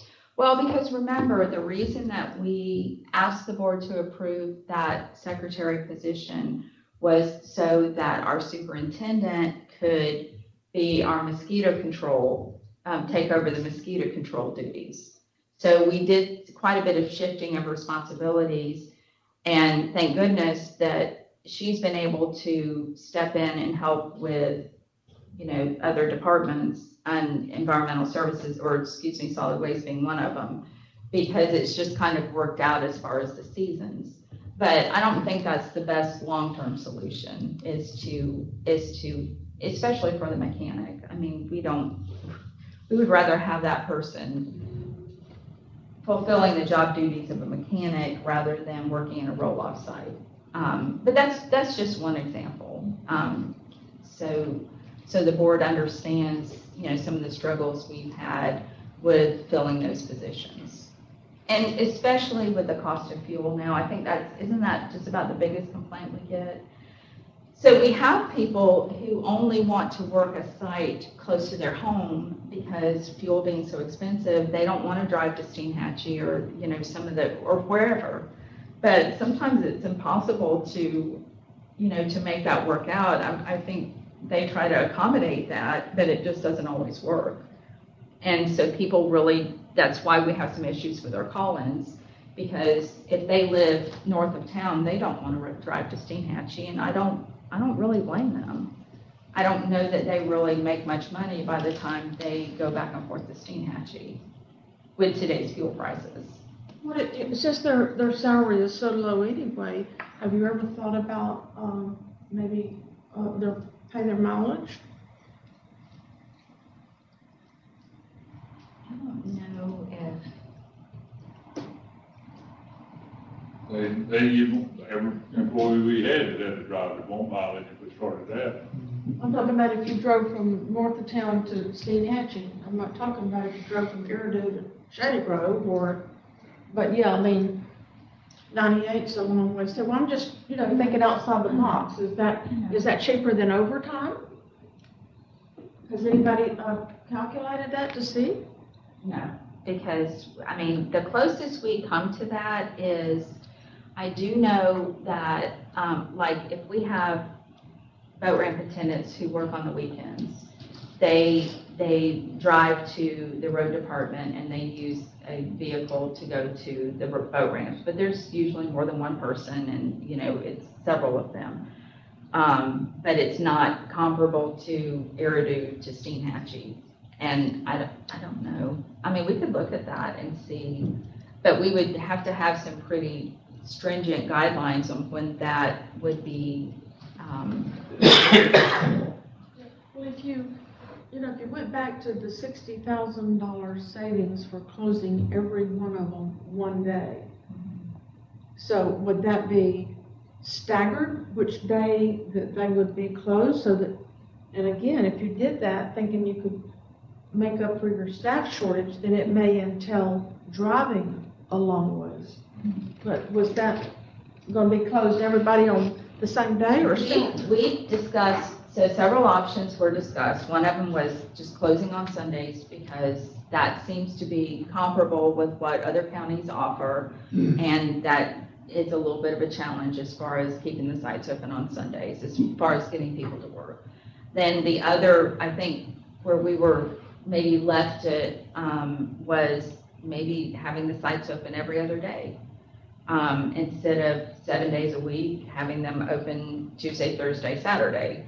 And I don't know if that's something that could be staggered, so, you know, on any given day, there might be a site open, but it may not be, you know, the one closest to someone's home. Yeah, and I don't, I, I'm, I'm, I don't know that if I'm in favor of Sundays, because you think about people that go to the beach for the weekend, and do they do? I would think that they would go by and, and, um, dump their garbage before they head back to Georgia, wherever they're going. Same thing with ninety-eight. Um, you know, people go down there and hunt and for the weekend, and are they gonna, I mean, it's just a thought. Well, I know that during scallop season, um, that, I mean, that's why we have the, the, the Blue Springs site open at ten. After scallop season, the site doesn't even open on Sundays until two o'clock. But during that busiest time, yes, I mean, it's open at ten, to try to accommodate those folks, I think, who are leaving town. So they can stop, drop off their trash before they head out. But I know I also, you know, when we were receiving a lot of feedback about changing the assessment, that seemed to be a complaint I heard over and over is the site's not open when we leave. Maybe they leave early in the morning, I don't know. But it's not open when I want to use it anyway. So, and now I have to, you know, that was some of the um, frustration. Can you do, um, some kind of quality control, uh, um, something that would, with each site of when are they the busiest and which day, and which day are they least busy, so that you know before, if we really did think about doing that, then we would have some data that would say, yes, we've, you know, we, we know which, which, which day is the slowest. Is that something that we, we can't really tell that by the, the, um, tickets, Loads. the loads? They'd have to count the cars. You know, how many comes in, and just do a, like a quality control study. Sure.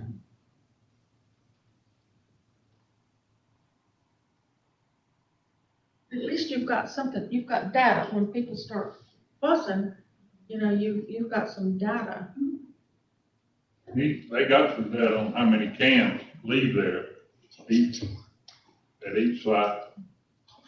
Uh, Gary does, he has the data, you know, the actual, how many cans leave from each side. I've seen it, Mr. Warner's got a list of how many cans leave each side, you know. Does that tell you how busy they are though? Yep, uh, yep, but, well, the busiest fills the can up, I mean, you know, I mean, Unless somebody takes a lot of stuff and puts it in there. I don't know, I'm just asking the question. I mean, I- I- we can do that. I mean, we can ask each attendant to tally, um, you know, how, how, how many cars come in. to Work with.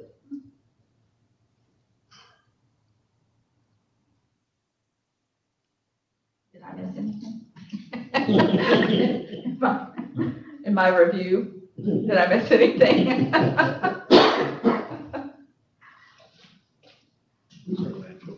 I think the people could live with the site being open every other day.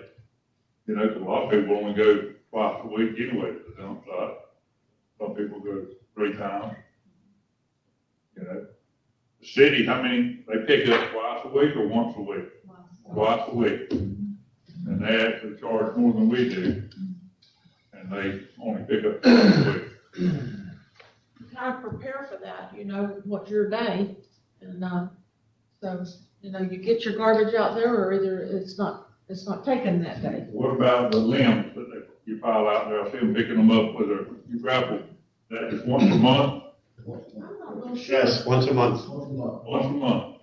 So in other words, we get limbs every day, and they pick them up only once a month for more money.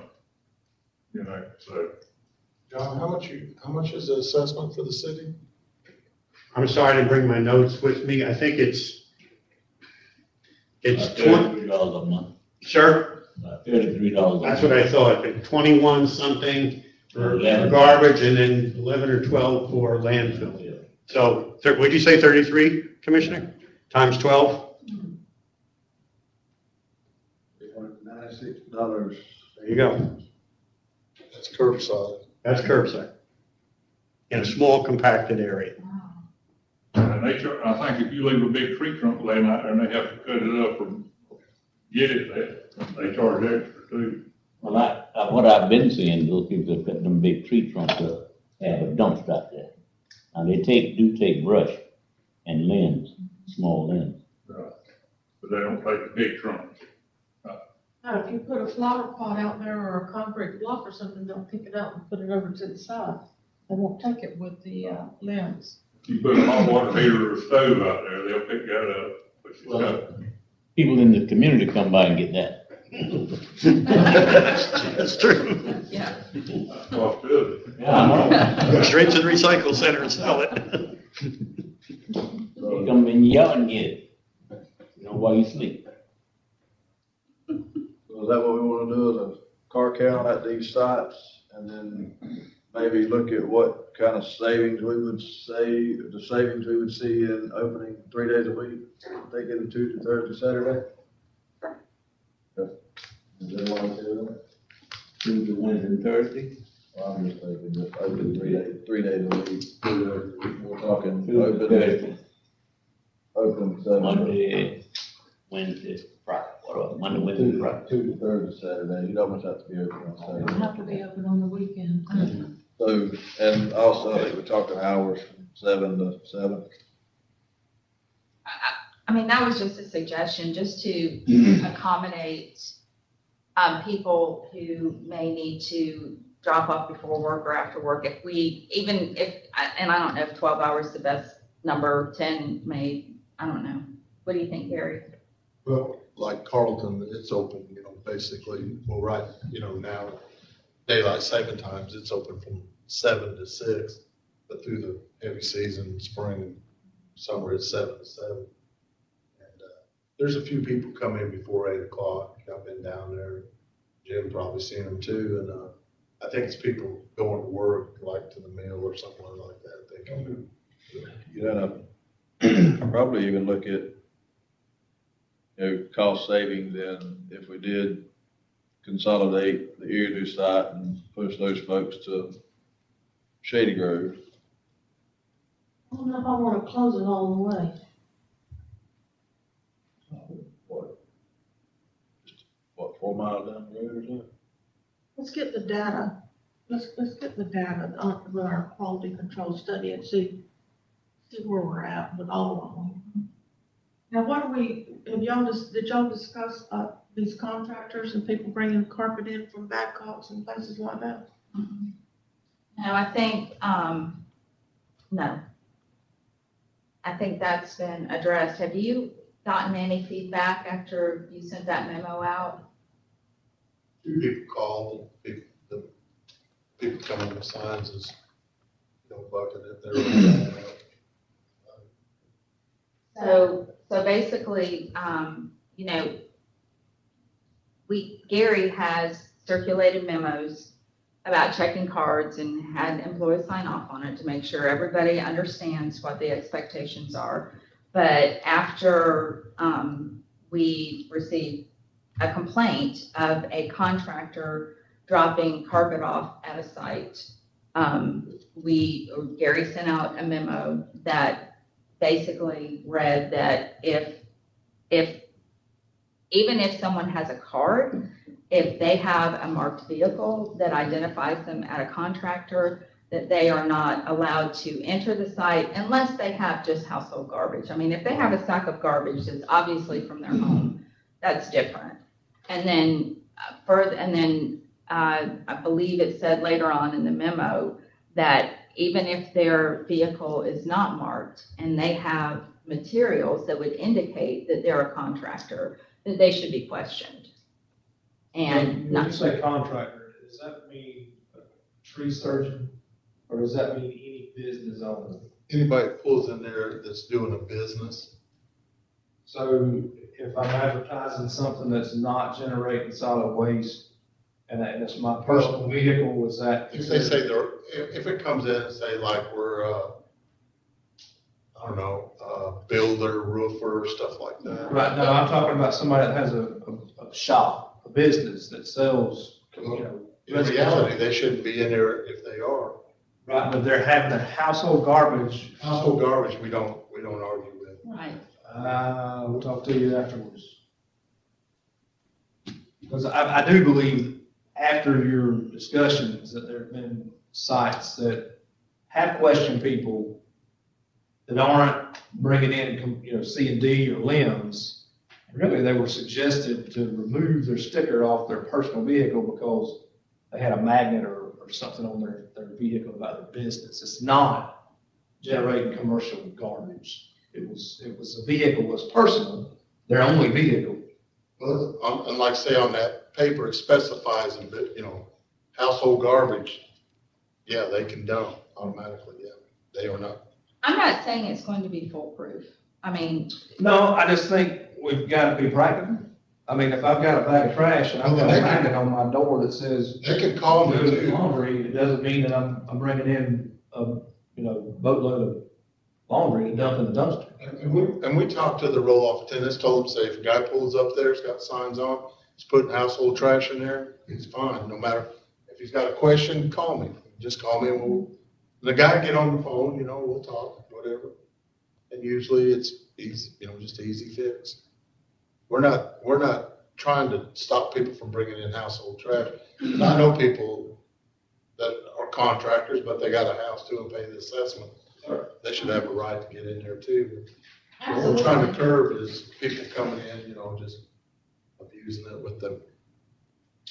That's the other day, the other day, uh, what you referenced to was a church changed all their carpet. And Badcock sold them the carpet. The church, the gentleman that did the carpet for Badcock, that installed it, he doesn't have a sign on his truck as a contractor. He does not. He just got a, he just got a regular pickup truck. He piled all the carpet from the church in the pickup, hauled it to the side in Shady Grove. And, um,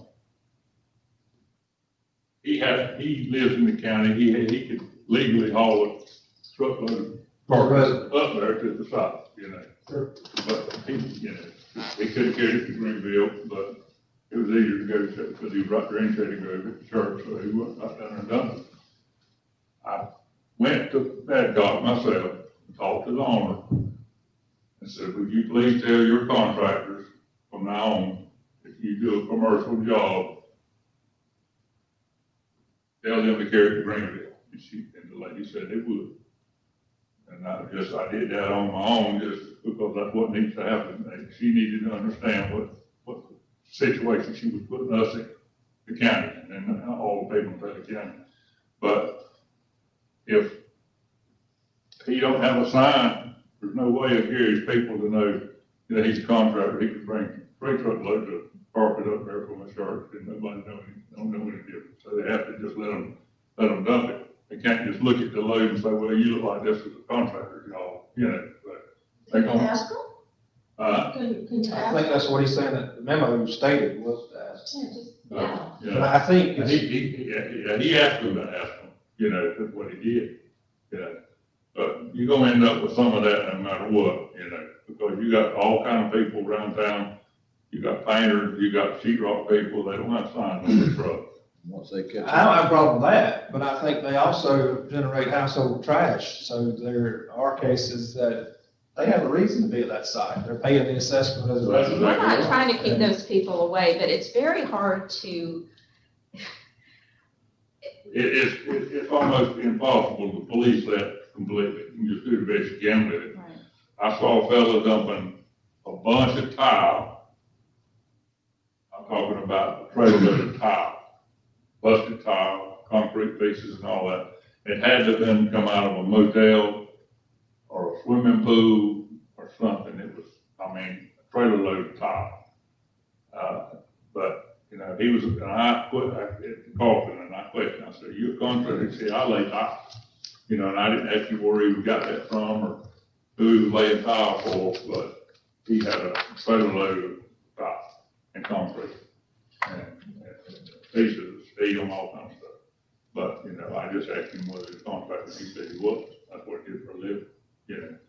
But that's before Gary had mentioned to the people after, you know, that was several months ago. Well, I think this is just common sense for whoever's working in the roll-off. If it's household garbage and they've got a, a sticker or a card, they get it done. But if they've got any C and D, I think that, I don't believe there's anything wrong to ask them if they're a contractor, if they're working for somebody else. And try to identify those people. And that's, I believe what the memo said, it's just, but, you know, I think it's going to be, it's going, it's a learning curve, and it's not going to be perfect. And something that Gary and I have discussed is someone may accidentally, you know, get turned away, and that's why all they have to do is call if there's any question. Yeah, and you know, just like what he's talking about, if, if this person shows back up again with such as that, then you know that he's, he's, you know, that's part of his job as a contractor. But they're, they're, all- you might wanna think about, you know, they'll get smart and they'll say, well, next time I'm going to Harrison Blue. And you've got to have a way maybe with communication that you've had John Doe that went to Carlton and he had a load of tile and this is his vehicle and everything and just, um, and everybody at the roll-offs know that this is a person to be looking for maybe, I, I, you know. Well, and that's why we said, even if the vehicle isn't marked, just, just ask them. And I think we'll get to a point where we're able to maybe a little easier identify. Um, They, they caught a few people in the last week or so, because they called me and said, maybe getting a call from this guy, but he told me he was a contractor, I sent him on down the road. So, it's, it's Probably working. gonna Get into the wording, and once they ask to pay a contractor a couple of times, they're gonna come in doing the same thing and ask them a contractor, they're gonna say no. Well, you'll, you'll, you'll soon identify these people though. Yeah, what you gonna do? When, are they gonna do when they say no, what are they gonna do? Just tell them they can't do it anyway? Well, that's why we need another mechanism to deal with C and D and, and these large limbs. So it's not, it's not just trying to keep contractors out, but we need a way to, to generate revenue to collect and dispose of construction debris and, and large limbs. And then, and because resident, I mean, we should not, from what I understand, we should not be using the revenue from the residential assessment to collect and dispose of any C and D, whether it's a resident or it's a contractor. We just haven't quite gotten to the point where we've been able to come up with a good way to handle that.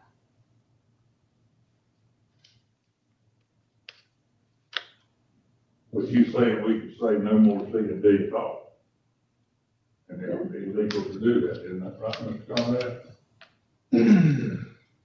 And I mean, that would be a pretty big deal for, Is there any county other than Madison County that probably does that?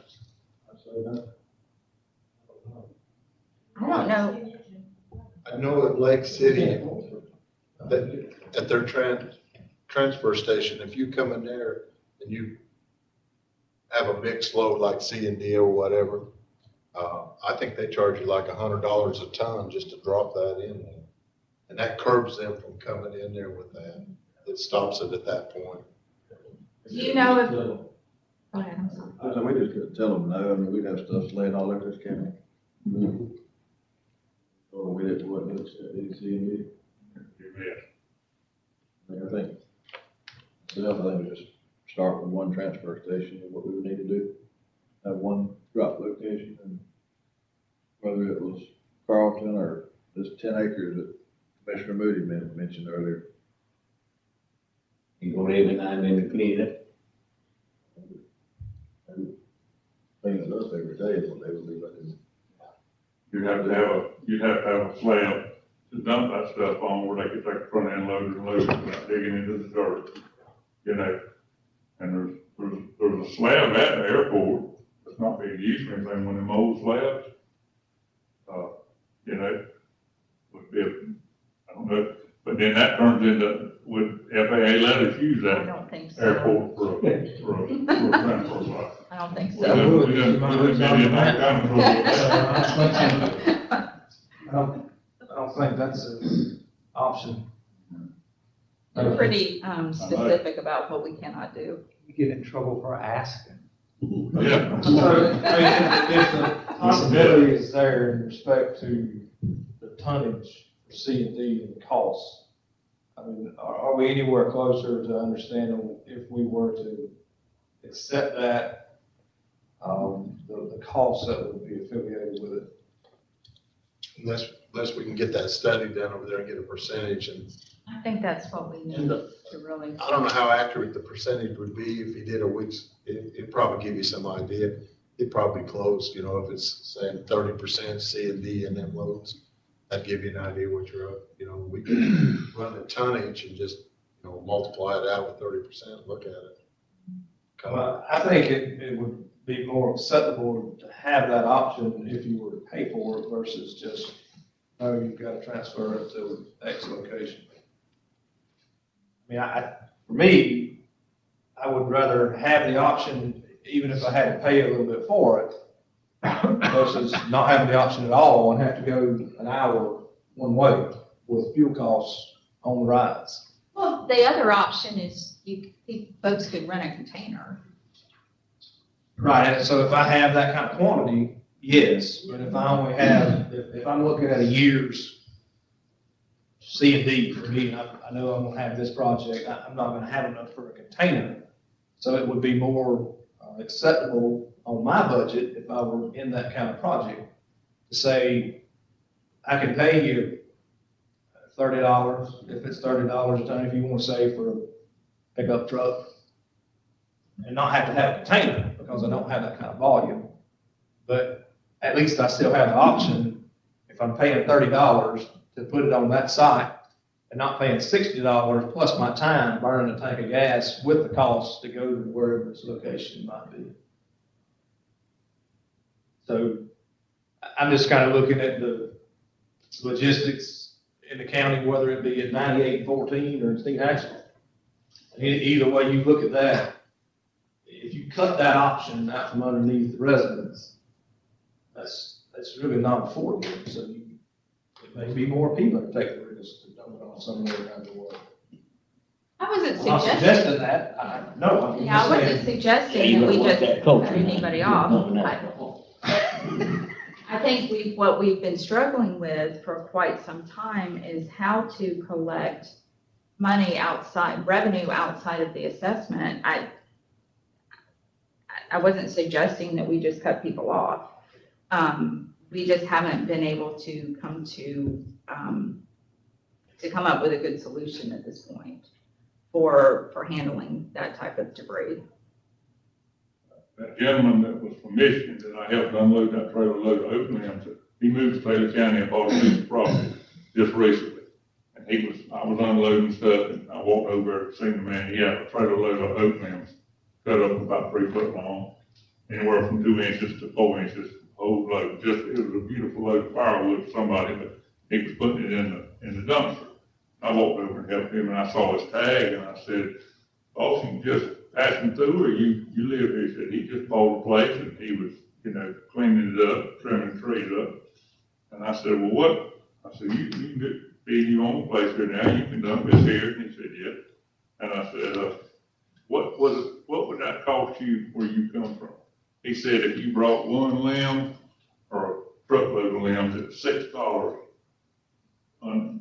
Question, you have to pay six dollars. If it was one piece of wood or a truckload of wood, it was six dollars.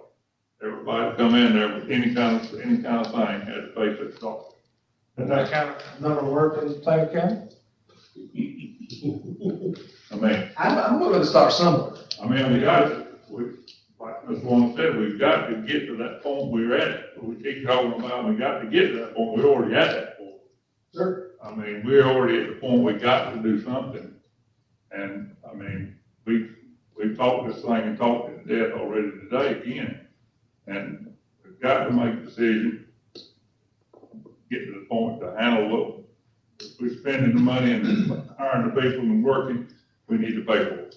I mean, the people gonna say, well, we already, done went up on the one seventy-eight, you know, now what do you want, you know, so so I mean, that's, that's a tough decision making. I mean, I'm not saying that's right, the minute to say, make it, but we need, we've got to, we got to look at this thing close and we need to look at it. We don't need to just keep it, putting it down. We need to work at it hard, you know, just like we are now discussing all of it. But that, one, every other day that we talked about, I don't think people have any problem with that. But you, you understand, if we go to three twelve-hour days, and you're at seven ten-hour days, is that fair, Mr. Wampo? Are those sites that are seven days, ten hours? What's your question? What's the question? What I'm saying is, if you cut it to every other day or three days, you're gonna go nearly to half your hours. Right. You're gonna go seventy, if it's seven ten-hour days, to thirty-six. You got, we've got issues that we're trying to work through with where we're at. No, but you And I'm not against saving money, if that works. I'm, I'm uh-huh. just saying you're gonna cut just your, give a suggestion. no, sir, I I mean, I'm, I'm open to it, Your but I'm truck also, Gonna have to work, they gonna have to work more though. You're gonna have to be hauling containers the whole time. I, I mean, I'm just trying to look at the logistics. I'm not opposed to it, I'm willing to try it. But I'm also really trying to analyze and see Yeah. that we're, s- you know, we've been working at seventy hours and then having our drivers work accordingly. But I, But all the I don't sites believe- don't work, all the sites don't work, you know, all the time. It's only part of the day. Just like Bernard Johnson, they only open after an afternoon. That's every, every day, isn't it? yeah, After lunch. you know, it's just a half a day. And, I mean, and that's what really, that's why I don't get a lot of business. On the weekends it does, but, you know, it gets, it gets a certain amount during the week, but most it's just the weekend. You know? Uh, closing Sunday. Every Friday, Sunday would be a good start, and we can get an idea from them. I mean, I mean, that would be, Let's do this, let's do this study and see which day is the slowest day. Bernard Johnson site, it opened from what time? Twelve o'clock to seven? The Bernard Johnson? Yeah. I think it's true. Is that Johnson's? Is it two oh, to oh, seven? Well, Full Stonehouse? All seven, all year it's round? fixing to change. To six. It's to six, yeah, and daylight. Does anybody know, are they gonna do daylight savings time, or has anybody heard, are they gonna? I haven't heard that it's been repealed. Is that, is that your question? I haven't heard that.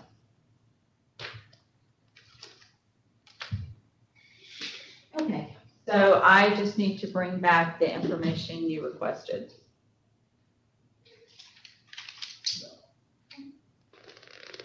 be a good start, would give us something to go on anyway. November the sixth, daylight saving time is, um, November the sixth. According to my calendar. Do you wish to schedule another workshop, or do you want to wait until our meeting next week? Because I have, we have some other items we need to discuss as far as scheduling. I think we should keep these meetings to discuss just solid waste, so we can, Yes, no, my question was, do you want to schedule the next workshop now, or do you want to wait oh, until? Um, because, um, we need to have a special meeting on October twenty-fifth. And I also would like sometime in November to bring a state of the county presentation to the board. And, um, y'all, before the end of the year, we need to schedule ethics training if you have not done that yet. So just some, some other, um, items that we need to schedule. can you do that and have it here so everybody can come and do it all at one time and get it done with? Quicker, quicker we can do that extra, I mean, be better. The what? We need to go ahead and get the ethics part behind it, Yeah. Uh, yeah. quick and fast. special meeting is on the workshop. uh, Uh, the twenty-fifth, we would like to have a special meeting, What um, time? six o'clock to, and the workshop to follow.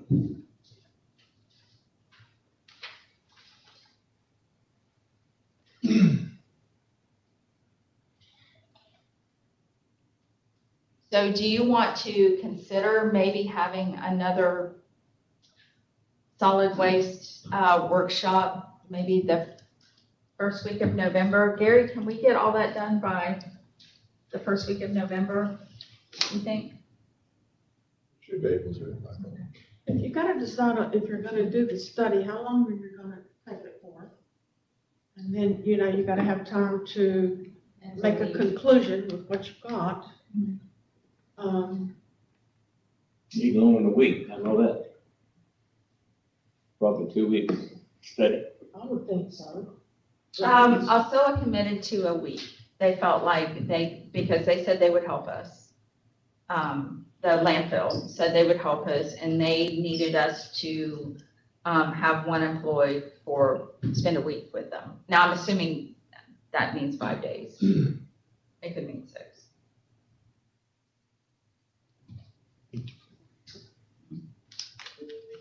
I feel like rather two weeks rather than a week. Yeah, if you're gonna collect data, you wanna make sure that you're, you're getting enough of data and, and. I can ask. Data and Right. I can ask, I mean, they, And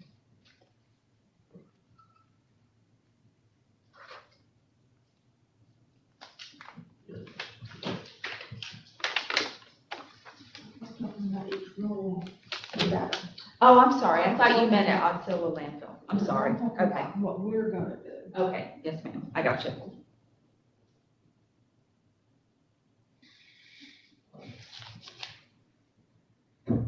Okay, so, um, we have a meeting on the eighteenth. We have a special meeting and a workshop on the twenty-fifth. Oh, So maybe on the wait a eighth, minute, Wait a minute, wait a minute. We got a special meeting, our regular meeting's on the eighteenth. Right. yes, sir. And then the workshop is the twenty-fifth. We want to have a special meeting at six o'clock and a workshop to follow. So it would still be at six o'clock. So the two, so there's three dates we need to look at outside of the regular meetings.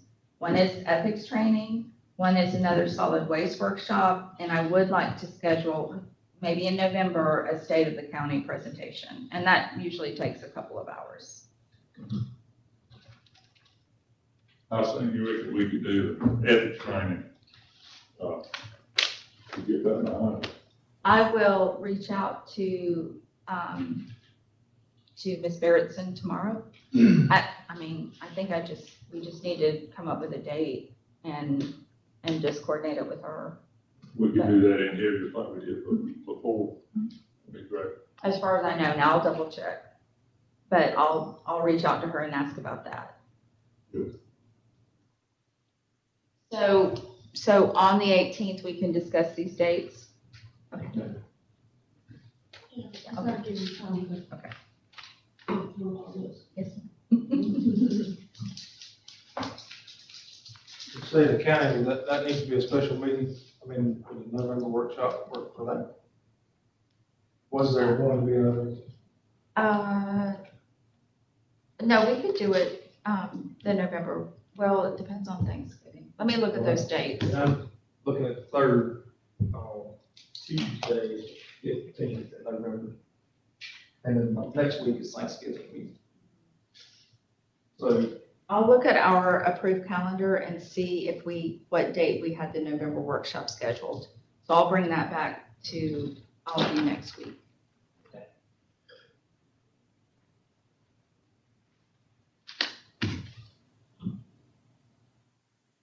It would hurt my feelings for that meeting on, um, November the twenty-second at nine to be moved up a week. Yeah, I'll be, that's the week they still, I'll be out. Either way. I'll be out on the fifteenth. Of November. Now, remember, we have reorganization, the second meeting in November. So I'll bring the calendar back to y'all next week and When we you be out. I'll be out on the fifteenth of November. You going hunting, you going on your big trip, the fifteenth? I always go every year, fifteenth. I'm there on the fifteenth. So if, if you all can So, kind of look at your October and November calendars, we'll see if we can get all this scheduled. If we need to put off the state of the county until, you know, after Thanksgiving, I mean, that would be fine too. you can be jumbled into Christmas. Well, it, it won't take long. I mean, and we could do it maybe during the November workshop. I mean, y'all don't have to take any action. And I don't know of any particular workshop items in November that we're planning right now.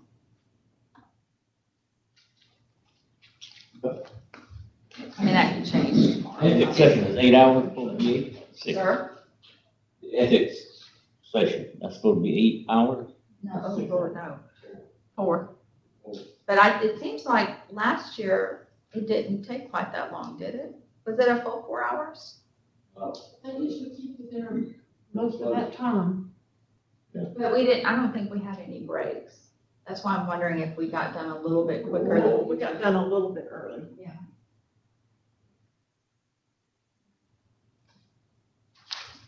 All right. All right. Anything else? You have nothing else? Yes. Anyone else? Okay. Call for adjournment? Do you call for adjournment? Go adjourn? Go on, go on.